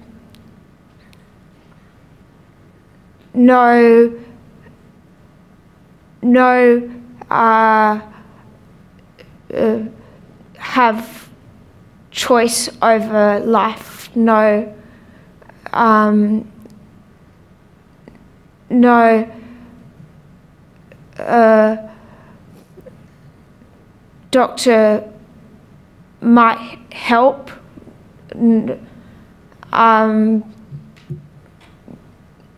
uh, time enough enough uh, time understand uh, uh, complicated problems um, know and talk uh, to me talk to uh, other other doctors talk uh, family talk um, support workers if try uh, if yeah talk talk when when um, needing to say yeah me yeah So it's, Yeah. it's important for you that doctors listen to you yes and that you have the opportunity to tell the doctors about your health and what you want to happen. yes The final question is um, a big question, and that's you've got lots of ideas about what you think could be better. yes Do you want to say anything about what you think could be better? So, what things governments could do to make access to health better and easier? um, uh, uh, pay uh, programs helping people um, um, um, education important people uh, uh, work people, um, mental health, um, medical, no, yeah, um, I think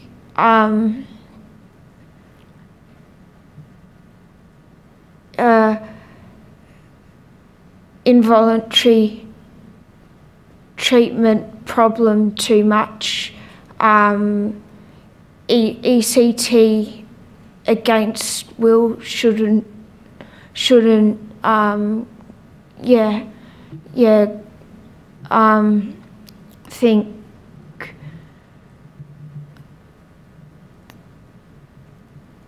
um, um, a good um, place to live right support to live out uh, out of hospital um, people um, not go into hospital because need lots support support not not there um, Anything Yeah. else? Anything else? And anything else you'd like to tell the commissioners today? um, think We covered it. yes covered yes it. yeah. And, and if there's anything that you want to send in to the Royal Commission um, after you, you know you're very welcome to do that too. Yeah, wait, one thing, sorry. Okay. The medical, medical, um, mental health, uh, disability service, um, different uh, professionals need uh, talk, work together, not um, co- yeah, communicate. Communication. Yeah, yeah. Um, C- Commissioners, uh, we're very grateful for Ruth's attendance today, and I know that she was very keen to participate. And notwithstanding her recent health issues, I hope that her evidence has comprehensively dealt with some of the experiences and challenges that she's confronted as a young woman today. So, Ruth, thank you very much for your evidence. Commissioners, if you need to formally mark the exhibit, a copy of the video is found in Part A, Tab 3, and if that could be marked Exhibit 4.3. Thank you very much. Ruth, thank you very much for letting us see that video. And thank you also for coming and talking to Ms Eastman and talking to us. We really do appreciate it very much indeed. Um, thank you. Yeah. Thank you. Commissioners, if that's a, a convenient time, it's a little bit earlier than the expected lunch and adjournment, but that may be a convenient time. How, lo- how long should we take, Ms Eastman? Uh, This I'm in this your is- hands, This is within Chair. your sphere of specialty? Um, it may not be, uh, but I think an hour is what, what was. Well, it's now 10 to 1. We shall resume at 2 o'clock. Uh, Thank you. Thank you very much. Okay.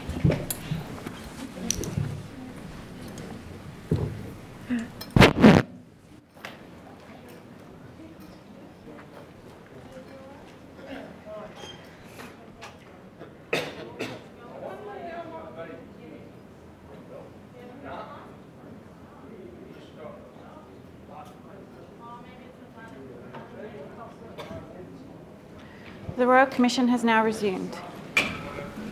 Yes, Ms Uh, Wright. Commissioners, the next witness is Dr Rebecca Kelly. Please come forward. Thank you. Please do sit down. We'll ask you to take the oath or affirmation as the case may be. Thank you.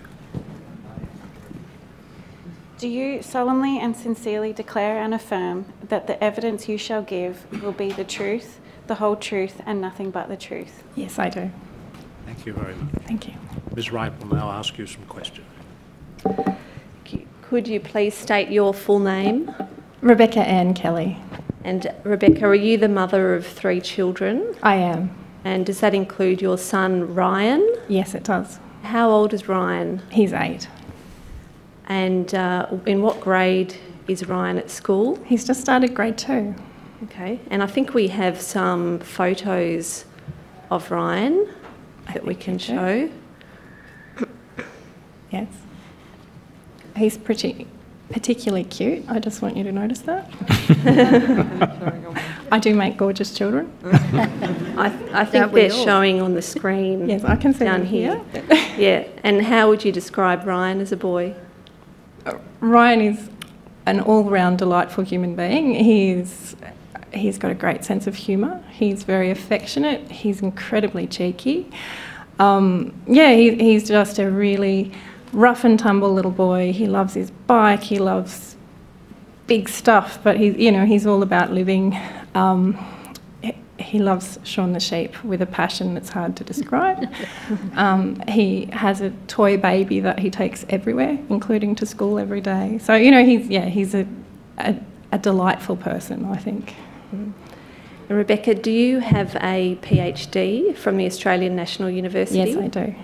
Um, and are you an environmental scientist? Yes, I am. Did you work as an academic for many years? I did. Yes, I was a fellow at the Australian National University. Okay, and you now run your own consultancy company? Yes, I do.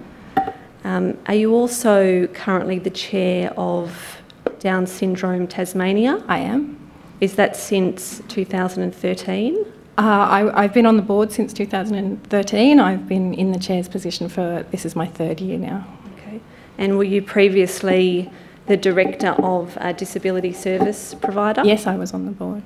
Um, do you live in Launceston, Tasmania?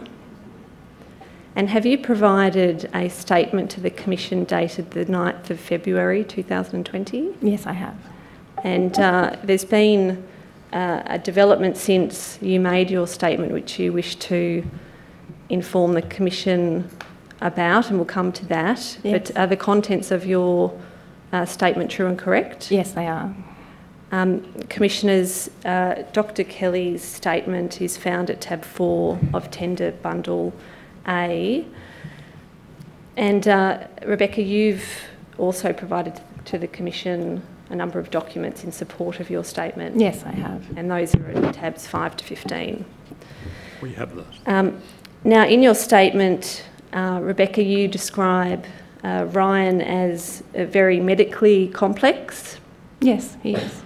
Um, and um, can you briefly explain that? Um, he, he's required uh, over his eight years um, specialist medical care Yes, a so number of areas. Ryan has a cleft palate. Um, he has, and that's required two surgeries to repair that palate. He has uh, a repaired defect in his heart, so he had three holes in his heart when he was born.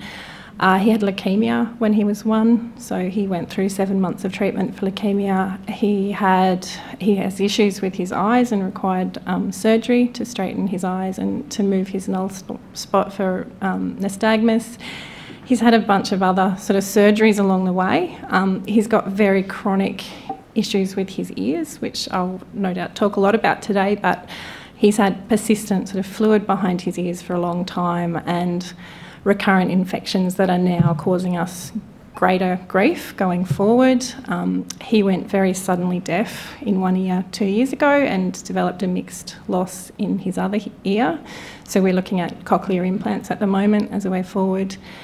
Uh, what else does he have? And, and he was diagnosed with complex trauma and takes medication for anxiety as a result of that. And, and that's kind of some of the things we deal with are consequences of other things that we've done. So, um, Mm.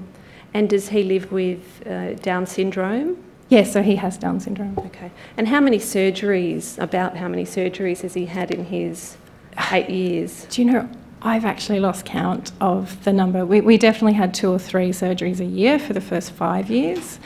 I can't tell you how many general anaesthetics, I've probably blocked a lot of them out, but it would be 50 plus times that he's gone to theatre for various sorts of procedures. Mhm. Um, he had a lot of admissions in the early days for things like pneumonia and croup, um, and still is very vulnerable to those that are acute um, interactions with the healthcare system where things go wrong very quickly.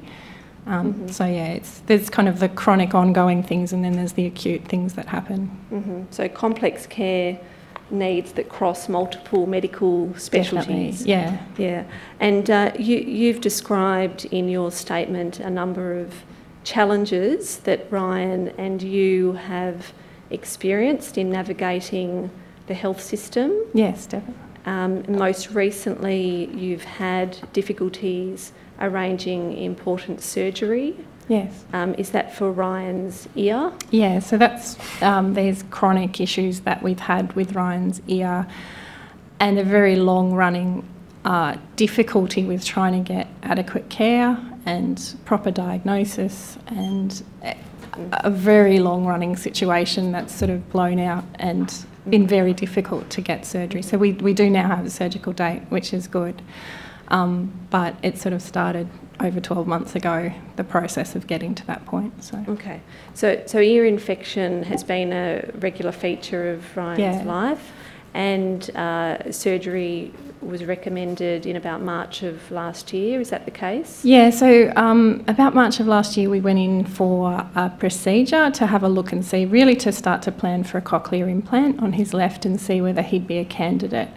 When they were in there, they found that the constant retraction and ear infections on his eardrum had caused what you call a cholesteatoma. So, at the very early stages of this, it's almost like a cyst that develops behind your eardrum. And as it grows, it takes out all the things that it touches. So it's very damaging and it can be life threatening if it sits there long enough because it grows into your brain eventually if you leave it there. So when we had that procedure in March last year, um, I was told that it was very urgent. They, they cleaned up what they could find, but it was very urgent at that point that we have surgery um, and that they would get back to me in a couple of weeks with a plan. Uh, that didn't happen, and I spend a lot of time, and it's in the notes about the various interactions, and it, it turns out that we were lost in the system, and eventually I made my way back in and was told that no, that was wrong, we didn't need surgery at that point. Um, a whole pile of other things happened in the meantime, and it's there's a very long very detailed account of all the, the steps, but essentially we went back in for another look and see in October and we were told that what I had been warned would happen without the surgery had, as far as I could tell, happened. So he had a large polyp that was blocking his their, their look to his eardrum. He had very persistent infection there, and they felt that this cholesteatoma had formed and caused damage. They said we would need to operate urgently. Again, this the conversation was that he would need a mastoidectomy and clean this up so that it didn't cause more damage to his only hearing ear, because this is his good ear. Um, we had the CT scan to plan for that. I asked, I got back because we'd had so many troubles. I got back to them two days later and said, What's the plan? And got a phone call from a resident, so the most junior doctor, saying, The consultant's looked at it and she doesn't think it's that bad and she'll get back to you. And then she never did. And um, he, in the meantime, got very significant infections and ended up um, hospitalised twice with sort of the side effects of all the things we were doing to treat the constant infection and the pain. Um, he had taken Nurofen for many months and ended up vomiting blood right before Christmas. Um, he had four weeks of antibiotics and got a really severe oral thrush infection. So, so we sort of had this ongoing thing. We got to January and um, I managed, after throwing, um, I, I was obviously not happy after that and got back into Melbourne and have a plan for surgery which again didn't go anywhere. But fortunately, the chief of surgery has now intervened and organised an operating slot for him in March. So it's it's been needed for a long time, but it's a very complex sort of winding story as to how we got there. Mm. One, one of the difficulties you've spoken of is that you're based in Tasmania, but his specialist care is in Melbourne, and you've had to go back yeah. and forth between places. Yeah, yeah, I think our system, our health system is very fractured.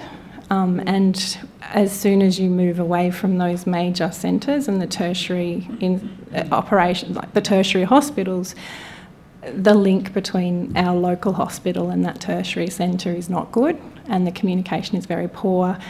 And the way of being able to escalate, there's no way as an outpatient that I could escalate that situation and, and get us back into the system easily. So, yeah, that, that's been a big challenge.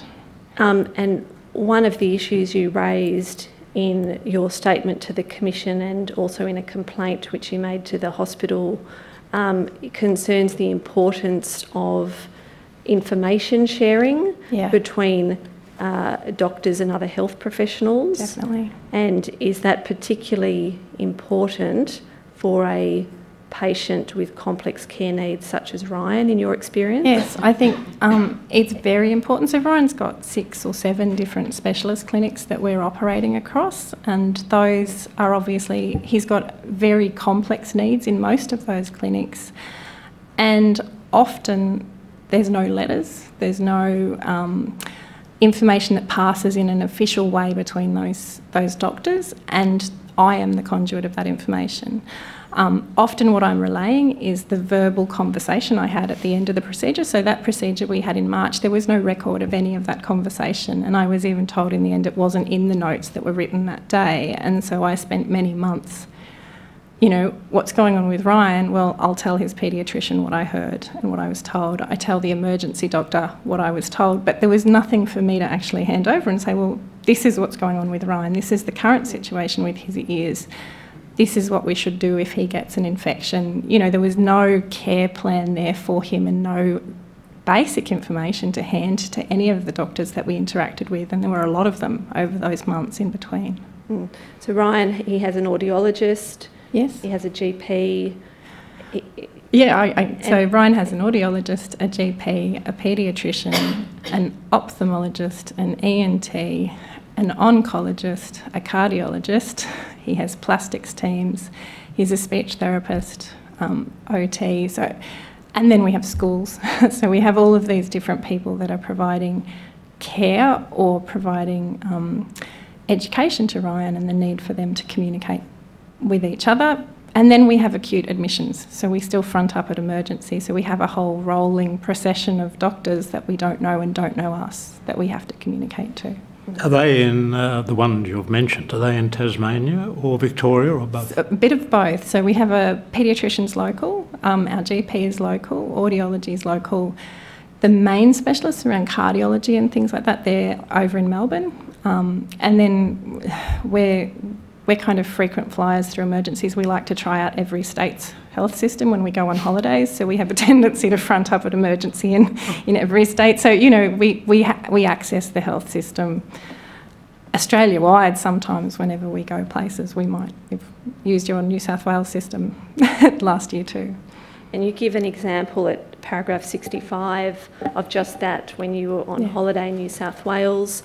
Uh, Ryan was hos- had to be hospitalised, and you attended an emergency department in New South Wales. Yes. Uh, but you and the treating uh, health carers, doctors and Yeah. nurses, experienced some difficulties uh, because you didn't have any overarching care plan or records uh, to give to give them. Yeah, so he, we ended up on a holiday taking an ambulance to the local emergency department um, where we were.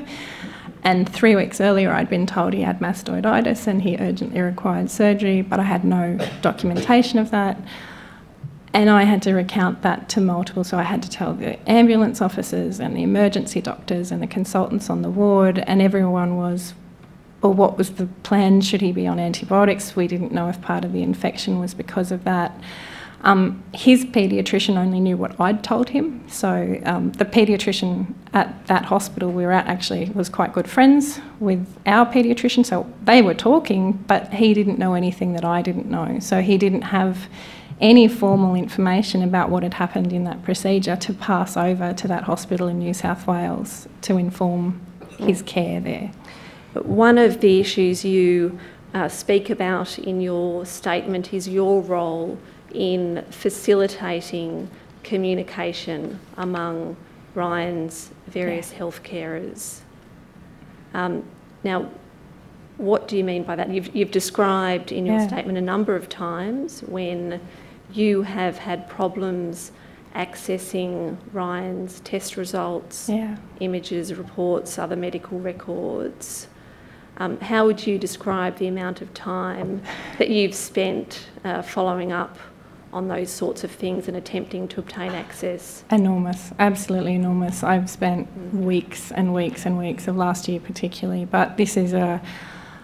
It, it's almost like a job in its own right. The job of managing the records and the information. Um, It's very. If we go to when I had my youngest daughter, I had to send. I was still breastfeeding, and I sent Ryan to emergency with his father, and I sent four pages of notes along with him and had phone calls because he's that complex. There's so much going on with him, and most of it, the only sort of record of most of it is in my head because it's not in all these notes, and there's no simple, easy place to find all of these things, and it changes all the time too mm. because obviously things are changing. Every appointment we go to, things change. And so the role of my role is really to constantly have all of that in my head, to be able to see the linkages, to do enough research that I can ask the right question when I get to the next appointment, and that's really fundamentally important. I often walk away from an appointment, go and start asking and finding things, and know that I should have asked something else. And so they're, they're often not bringing information to me as a parent, I'm bringing them ideas and questions, which then create the next care plan moving forward. So that that role that I play around um, facilitating communication between medical professionals, but also bringing research into that care, that caring situation, and having to constantly be sort of hyper vigilant, doing research, pulling it in, making sure everyone knows what's going on. It, it's a really large role, and it's one that tends to be played, I think, by mothers more than anyone in the in the health system. Did you even at one point have to make a freedom of information request to obtain access to some of Ryan's medical records? Yeah, so I've had a lot of difficulties, particularly in the last 12 months, because I wasn't getting information. I started to request records, and No. that means I wanted operation notes and things that often so, some some of the specialties will actually just give me operation notes. That's no problem, or they put them on, on the portal system, for example, from the Royal Children's. But others, when I asked, it was like, no, you're just a parent. We don't give those to parents. That's po- policy. You know, that idea that I wouldn't be able to understand or shouldn't have access to that detailed information, which when I got when I got it was actually fundamental. There were things buried in those notes that I needed to know because no one else had been told them and they were vital in terms of his ongoing care to have that information. So, and yes, we've had to do freedom of information requests to get some of that information. Uh, what do you think uh, medical professionals and the health system generally uh, can do to facilitate your role in communicating between his team of medical yeah. care and health carers? Look, I think um, for one thing, the notes are often full of errors, if there are notes at all. I feel like out of all of those appointments after those procedures, we should have walked away with a half pager saying, We saw Ryan today. These are the things that we saw. This is his current situation. If he gets an infection, this is the first line of treatment, and here's a phone number for you to contact if you need to. If you know, so if we fronted up at emergency, someone should have there should have been a number there for them to call back so that they could actually get more information. So that information there that any parent can take, and you don't need high levels of literacy to take that to emergency with you and hand it over to the doctor, that's missing. That doesn't happen in the health system, and it should happen. Um, so that's part of it. I think um, the issues with notes, notes are full of errors. Whenever I do get access to notes, they're, they're full of mistakes and errors that are actually really important. And having full access to those, but also having a right of reply on them so that I can actually read them and say, no, that was actually his left ear that was infected and not his right, because that matters going forward. Or, you know, no, that's not my recollection, and, and at least note that down so that moving forward, we don't have this error filled record of his history that is what doctors are going to rely on going forward. Mm-hmm. Um, now, Rebecca, another um, matter you raise is that you feel you should be included in discussions about Ryan's care, um, and you've made some ob- observations about um, about that. Um, uh, just uh, focusing on on Ryan, um, there have been times, and you've given some evidence in your statement, where uh, uh, your observations of him as a parent uh, you feel have not been taken on board. Yeah, uh, definitely. now, um, there's an example I think you wish to tell the Commission about yeah. that occurred at Christmas when mm. you had to attend an emergency department. Yes. And uh, you made your views about Ryan's condition known to the staff and you felt they weren't listened to and Ryan's health did subsequently deteriorate? Yes, definitely. So, um, as I mentioned, he got admitted with a very severe oral thrush infection over the Christmas period. We presented the first time on Christmas night, so it took a few days. He sort of stopped drinking and stopped eating, and it, it's very difficult sometimes for me to figure out what's going on. And it takes me a couple of days to sort of go, why? And then I looked in his mouth and it was white, and I went, ah, he's got thrush. So I kind of went, I know what the problem is now. And I went to emergency, and don't go to emergency on a public holiday is probably the first lesson of the medical system. But I went to emergency, and the first doctor that we hit was, Yeah, that's oral thrush. Here's a topical treatment, go home. And I stood there and I went, uh, Actually, he hasn't eaten or drunk for much for two or three days. You know, he's probably had a couple of hundred mils. I'm really concerned about dehydration. He's got very severe pain. I can't get him to drink. Um, I can't give him Nurofen because he was vomiting blood last week. So, you know, my pain options were limited. And so I said to her, I said, I'm, I'm not comfortable going without a paediatric review. And she said, They're not going to tell you anything I didn't tell you. And I sat there and I went, No, actually, I'm not going without a paediatric review. And the, the paediatric registrar came down and she was good and she sent us home with a lignocaine. And then the next day we came back because he was still not drinking. And I, I, was concerned that it wasn't just his mouth and that a topical treatment wasn't going to be enough because it wasn't the first day of the infection. We're on day four, maybe. It, you know, it was already really well advanced by the time we present there. And then when we got there, he was very ill and he was very dehydrated. And I said to him, his, his peripheral access is always really hard. It's hard to get a vein on him at the best of times, and he's dehydrated, and it's going to get harder and harder the longer that we wait here. And they got us around the back quickly, but they left us for two hours then without attempting to get an IV in. While he was lying there, he was um, desaturating, but in a way that nurses don't tend to pick up. And, and so my observation of nurses is so he, when he desaturates, he's sort of 98%, he looks good, and then he gradually drifts down and he kind of gets to 94, 95, and then he kind of stirs himself up and his heart rate goes up and he gets himself back up again, and then he drifts down. And the tendency of most nurses is to stand there and wait until the number goes up and then write the top number down. I don't know, there's some temptation to get the best score rather than the lowest score.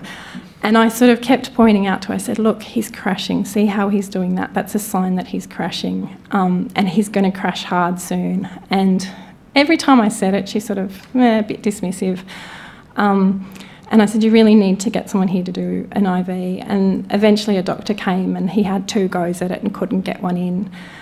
And then said, I'll go get the ultrasound, and then disappeared and disappeared for 40 minutes. And to the point where I, I ended up calling the nurse back and said, Well, can you just go and get the pedi- pediatrics? Like, the, this isn't going to get any easier. By this stage, he was really sick. His ketones were 4.3. He was crashing really badly and he was very sick. And eventually they sort of said, oh, we've spoken to the paediatrician and they usually just put a nasogastric tube in. But even then they hadn't done that. That no one had made any effort to get fluids into this child. And eventually we, the paediatrics came and took us up to the ward. And it was only a registrar because it's a public holiday. And it took him four shots with the ultrasound. He couldn't even see a vein on the ultrasound by the time he went to do that. And that meant it was really, really traumatic. So we had a child that probably the night before could have been given fluids and it would have been okay. By the time we were there, he was really, really sick. When I said to the paediatric register, he came down and I said, Look, he's been crashing. The nurse said, Oh no, his saturations are fine. He was just moving. And, it, and I, at the, bat, the trace was bad. And I said, No, the trace was excellent. I've spent a year of my life watching this child in hospital. I know what a good trace looks like. You know, that devaluation of my knowledge of what he looks like when he's crashing, you know, it was that situation we go, that we could have avoided that turning into. And in the end, he needed a systemic fungicide. So, and that's what fixed it because it was everywhere. It wasn't just topical. But that took several days to get to that point of properly diagnosing it and properly treating him. Mm-hmm.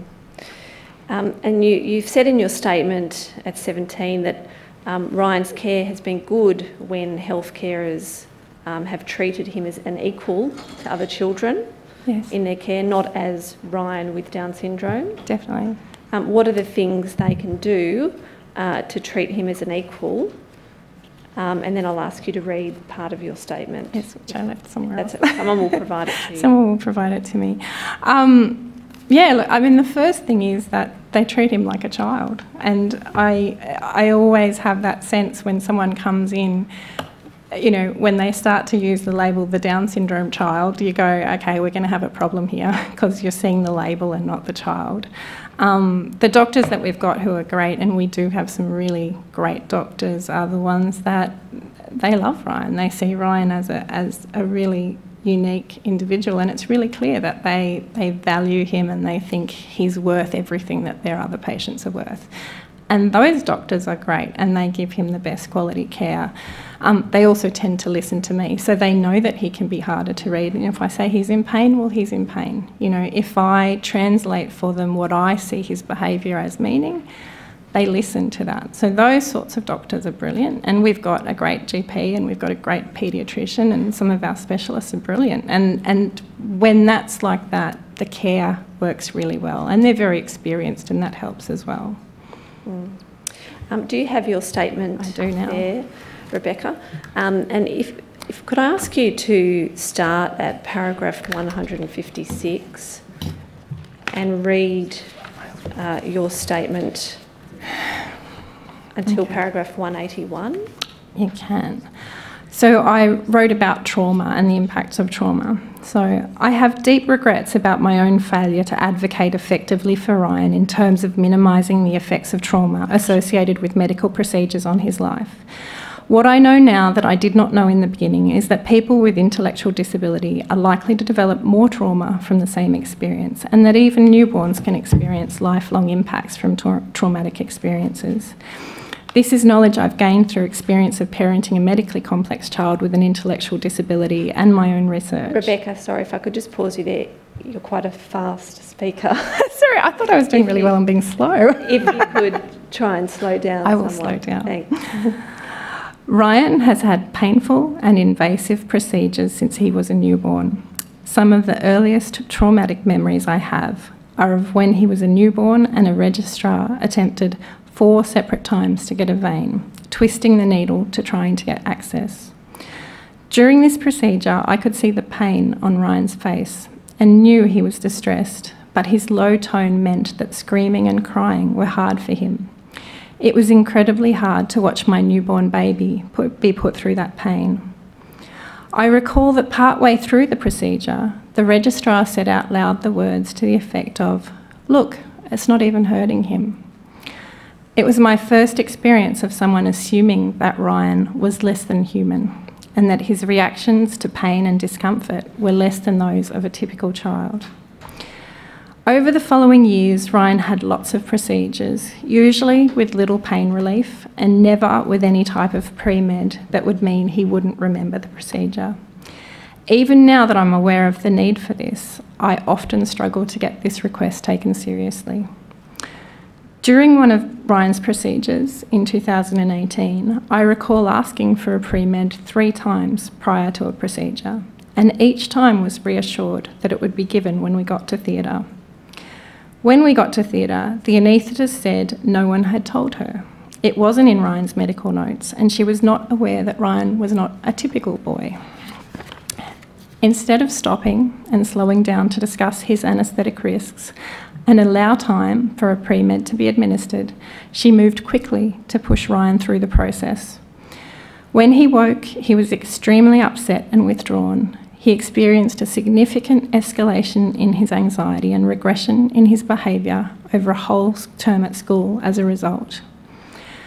When Ryan was little, he was always a friendly, chatty baby and toddler. He loved interacting with everyone and would chat away. He also used Auslan signs to express himself as he spoke. He was a friendly, outgoing little boy. Sometime around Ryan's sixth birthday, I noticed he gradually started to withdraw into himself.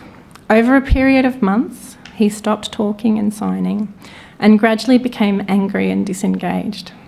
He also struggled to sleep, waking frequently during the night. Ryan's lack of eye contact and interaction had some of the therapists and educators around him flagging an autism diagnosis. I took Ryan to see a clinical psychologist who specialises in autism and explained that my gut feeling was that Ryan was traumatised and anxious rather than autistic. After observing him, she agreed and said that complex trauma as a result of the many invasive medical procedures he's experienced was the most likely cause. Ryan has less control over situations and less capacity to demand procedures are done in a way he prefers, as well as less ability to clearly communicate his distress and debrief after a bad experience. Ryan does not communicate pain and distress in the same ways as other children, which can be misinterpreted as him not experiencing pain. Ryan is now scared of friendly people. No doubt because most of the people he met in his early life were paediatric nurses and doctors who are always lovely and friendly and usually went to do something painful or intrusive shortly after they met him. After seeking help from the psychologist, we began changing the way we interacted with Ryan at home, at school, and in therapy sessions, implementing trauma informed practices in all settings.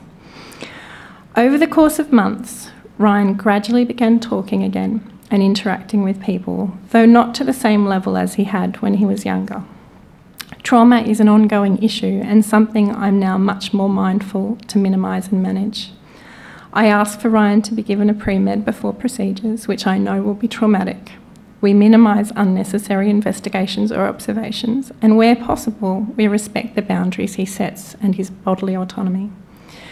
Major investigations are left until he's under anaesthetic and after a pre med to minimise his memories of these procedures.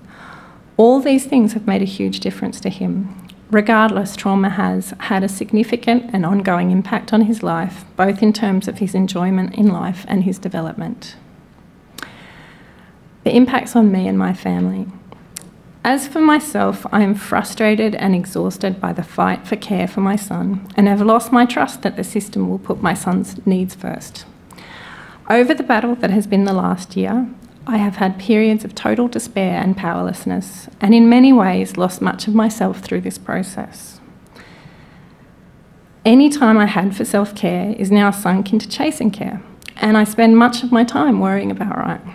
Ryan wakes multiple times every night, meaning I never got a good night's sleep, which makes both parenting and running a business challenging most days.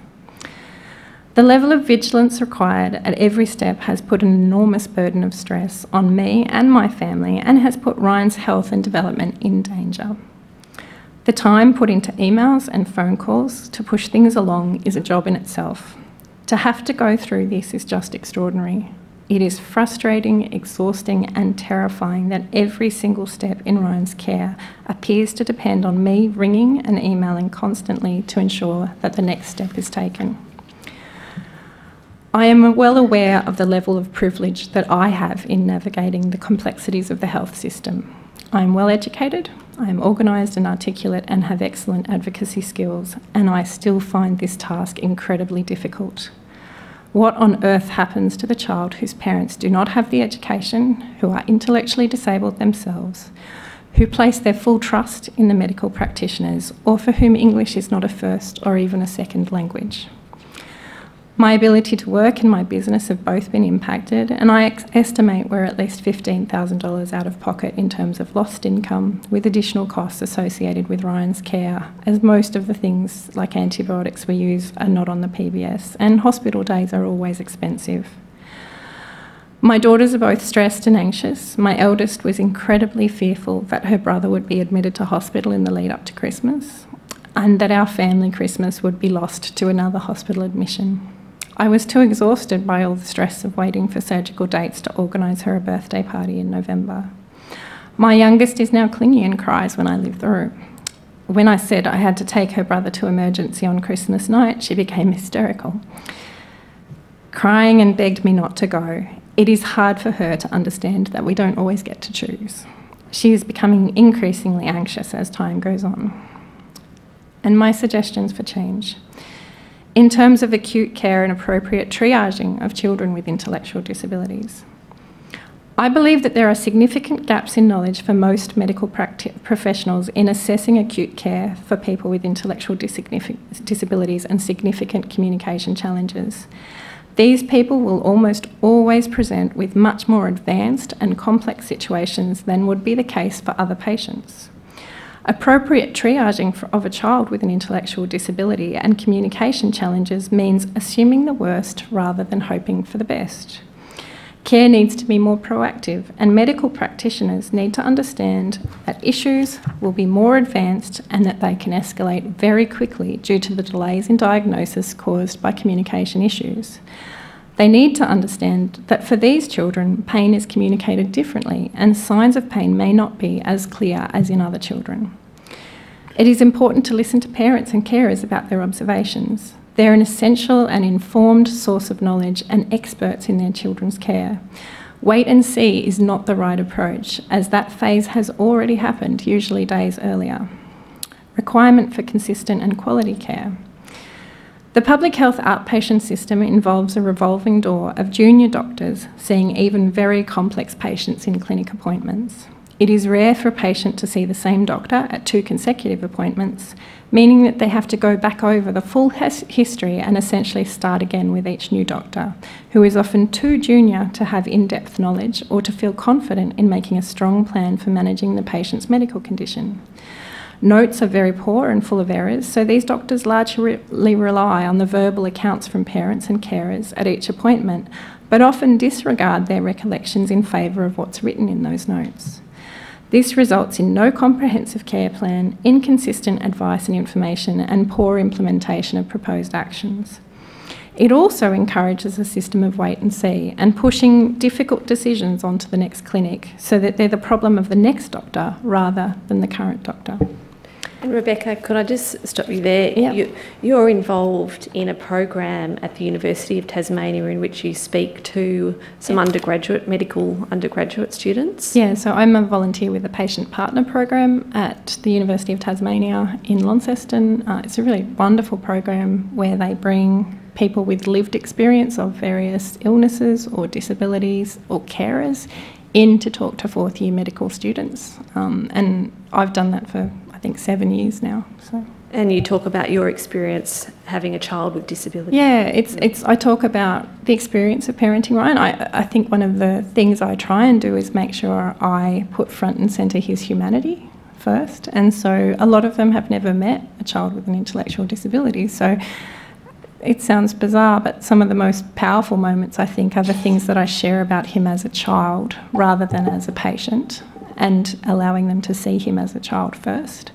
Um, but then I talk about the system and the issues with the system and their role in that and how they can help. Um, I talk about how to deliver a pre or a postnatal diagnosis and what the words they should use are. Um, about the importance of, I guess, understanding that child is communicating and that they are, whether they're talking to you or not, they are understanding things that are going on in that room and they are communicating to you. Ryan's a really powerful communicator. He doesn't use a lot of words, but if you're willing to stop and look and listen to what his body is telling you, he's, he's a very powerful communicator. And those sorts of lessons for doctors, young medical students, is, are really important, I think. Mm. Um, you say in your statement at page, at paragraph 207, uh, that life with an intellectual disability is often seen as a life better avoided through screening and pregnancy termination rather than a life of value, meaning, and purpose. Yes. Um, you had a positive experience I do. Uh, with the birth of Ryan. Uh, I wonder if you could uh, share that briefly with the Commission. Yeah, um, so Ryan had a postnatal diagnosis of everything. Um, I made a very active decision not to have screening. I had thought about it and decided that I would accept and love and embrace the children that I had and whatever form they came in. Um, and that was a good to have made that active decision and then end up with that child. Um, quite fortunately, on that day, we had a wonderful obstetrician who's seen me through three pregnancies. Um, and just by luck, our current paediatrician was the one that was there present in the room that day. And that set me up very well because both of those professionals um, advocated very heavily for Ryan to room in with me right from the beginning. So, all those basic things that mothers and babies need to bond in those early days, they were both strong advocates for that. Um, they made it clear that they understood that this would be challenging news, but they never painted it as bad news. They were, you know, that sort of, I'm really sorry, that didn't happen. We had, it was really clear right from the beginning that they thought he was beautiful and that there was congratulations there and that they understood we had a lot of things to get our head around. But and that they were there to support us through that and they would sort of sit and talk with me and, and give me those quiet moments but also not be overly negative. They weren't negative in that experience they were empathetic. Um, yeah uh, there was a lot of really good moments there. When i look back and i reflect on that experience and it's a really um, most parents can remember how they heard the news and what words were given and it's really powerful to hear, congratulations, your baby's beautiful, instead of, I'm really sorry, your baby has Down syndrome. They lead you off on two very different parenting paths, those two sets of phrases. And I was very fortunate that I had the right people there with me that actually gave us that positive experience. Um, that was a positive experience, and you say in your statement you've since Ryan's birth had some negative yes. experiences involving doctors and nurses uh, saying things to you such as, didn't you have the test? Yeah. Um, you speak about a medical model of disability yes. and ableism in your statements. Could you expand on what you mean by that? So, I guess coming. So, obviously, the medical model of disability is the, the model that says that this is something to be cured. It's that someone with a disability is in some way broken and that we need to come in and fix them to make them as normal as possible. And I think that that underpins still most medical training. So this concept that that you're starting with a broken child and that the, the effort is to in some way cure them. And I think when you bring that into that medical setting, doctors are all about curing stuff. And, and at the end of the day, if you can't cure it under that model, then you eradicate it under that model. And, and it sets up a really bad dynamic about how you consider that person and their value and their life. And if you see that, particularly Down syndrome, and we see this a lot because we're at the front line of being able to detect these things before birth, if you think that that person's life is a tragedy and that they suffer from this condition, then you start to believe that it's an act of kindness or uh, you know that it's a responsible act to do all you can to prevent that birth. And that becomes quite coercive. And i see this with women all the time. We, we support a lot of women and i help support them through um, various support groups where their autonomy in that decision is taken away because that medical model really sits there it's there right from the beginning and then you see it go through life where when you're facing that need for care if you have a doctor that thinks that possibly your life's going to be a little bit better if your child doesn't make it because they're taking that burden away from you, that has horrible implications for the level of care that you're going to get. That, that child isn't going to be valued in the same way that another child who isn't seen under that medical model to be some sort of burden. Um, it just sets up such a terrible way of viewing that child's life and that child's value. Um, and it, it, affects all the care that they get going forward. And, and often I don't think many people, when they hold that belief deep down, if you questioned on it, they probably wouldn't admit it. It's such an unconscious bias, but it's right there and it's central to medical training, I think, and it needs to change because it's very dangerous. So you're a strong adv- advocate for improved training for yes. medical and health professionals about intellectual disability and disability more broadly, mm. as well as systemic change within the system for things such as you've mentioned at paragraph 215 of your statement, such as longer appointments, yeah. the need to focus more on the child, uh, communication methods that the child uses, listening to parents and carers um, to interpret uh, what the person with intellectual disability is trying to say. Yes, definitely. Um, and uh, given your experience with Ryan's healthcare, what would you like to see uh, come out of the Royal Commission? A lot. you guys have got a big job ahead of you. Um, I would, I would like to see fundamental change in the way that medical skills work, schools work in terms of training doctors firstly, we've got to break this idea that age or disability devalues you as a human. And that's a really big first task. So until you break that concept very early on, you're always going to run into issues. So we need to change training so that we make sure that people are exposed to all these parts of life and actually realise that we want Ryan, we love Ryan, we want him to have a really full life, and they're not doing us a favour by not treating him. then obviously there's specific knowledge that they need to have around the medical conditions he can have. They need to understand pain. They need to understand trauma and the prevention of trauma in children. So there's lots of very technical things that they need to do they need to follow their own guidelines. So there are good guidelines already existing for most of the things that I'm talking about, but they're not implemented. So um, the IV access is a good example. I went and found the guidelines the other day and realised they've almost never been followed for him in emergency. So it's not that the system's not there, it's just not enacted. So all of those things need to come together and be done, and they need to be aware of them. There needs to be better transparency and accountability. The system needs to be accountable for the care that it provides to people. And uh, I think the complaint that I put in last year really showed me very vividly the total lack of accountability. You know, I, I wrote a 10 page complaint to a hospital and nothing happened. nothing happened, and his care didn't get any better, and I didn't get a response. And then I escalated that, and still nothing happened. And then I escalated it again and nothing happened. And then I got the Health Complaints Commissioner in and I got a phone call. You know, and when we got there, that, that 10 pages, there were systemic issues in there they need to address. But at the end of the day, the urgent bit was give my, care, my son good care tomorrow. They could have done that the next day. That didn't take four months to get there. And so that lack of accountability is huge. Um, and there's no, I, I'm kind of horrified at the lack of governance that goes through these systems that actually makes people accountable for implementing the right processes.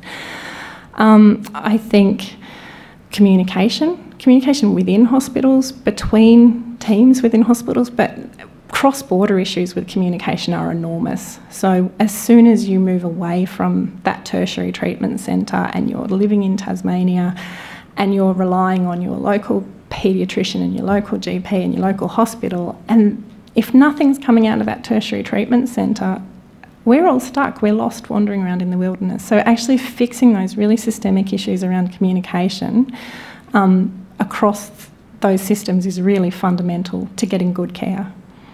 Mm-hmm. Um, thank you, Rebecca. Um, commissioners, unless there's any matters which the Commission wishes to ask, uh, Rebecca, you, those ra- are my questions. You've raised a large number of issues that are very important. Can Yes. I just ask you about the last one of coordination Yeah. and particularly cross borders? Yeah. Has the My Health record system made any difference to that? Not that I've noticed, no. So I don't, to be honest, I'm not even sure what's in Ryan's My Health record. I haven't checked. Um, I don't know that other people check. I don't know what goes in there. I, I think part of the problem is if it's not written in the first place. So if that ENT doesn't write a letter at the end of the procedure, or at least a you know half-page memo, it's not in there. So unless the information is actually documented, you know, very much straight away and put in a form that it's then accessible, it doesn't happen. So, yeah, I, I haven't noticed that that's made any benefit in terms of the system. And as far as a central place where records, and I understand your Mhm. point that the records are often incomplete or inaccurate, is that a role that the local GP or local paediatrician can or do play? I Yes and no. So, as far as I understand, and talking to um, the people at the Royal Children's the other day, they all use different systems. So, there's no universal system by which various doctors and people in the health professions actually keep records, and there's no shared platform. They've all developed their own platforms, and some of them talk to each other a little bit, and most of them don't. Um, some things do go back to the GP, and I've used the GP to get notes sent to him, which then come to me. Um, but yeah, that kind of it's not a good, it's not a functioning system. There is no good integrated information system across which medical professionals Australia wide can actually see what's happened in our history. And, and I mean, no one, Ryan has folders and folders full of notes, so no one's going to wade through those anyway. What they need is where are we at now and who do I talk to if I need more information? They need that that précis summary of his, you know, they don't want to read 100 pages of notes on his heart when they just need to read the last letter. So, Thank you.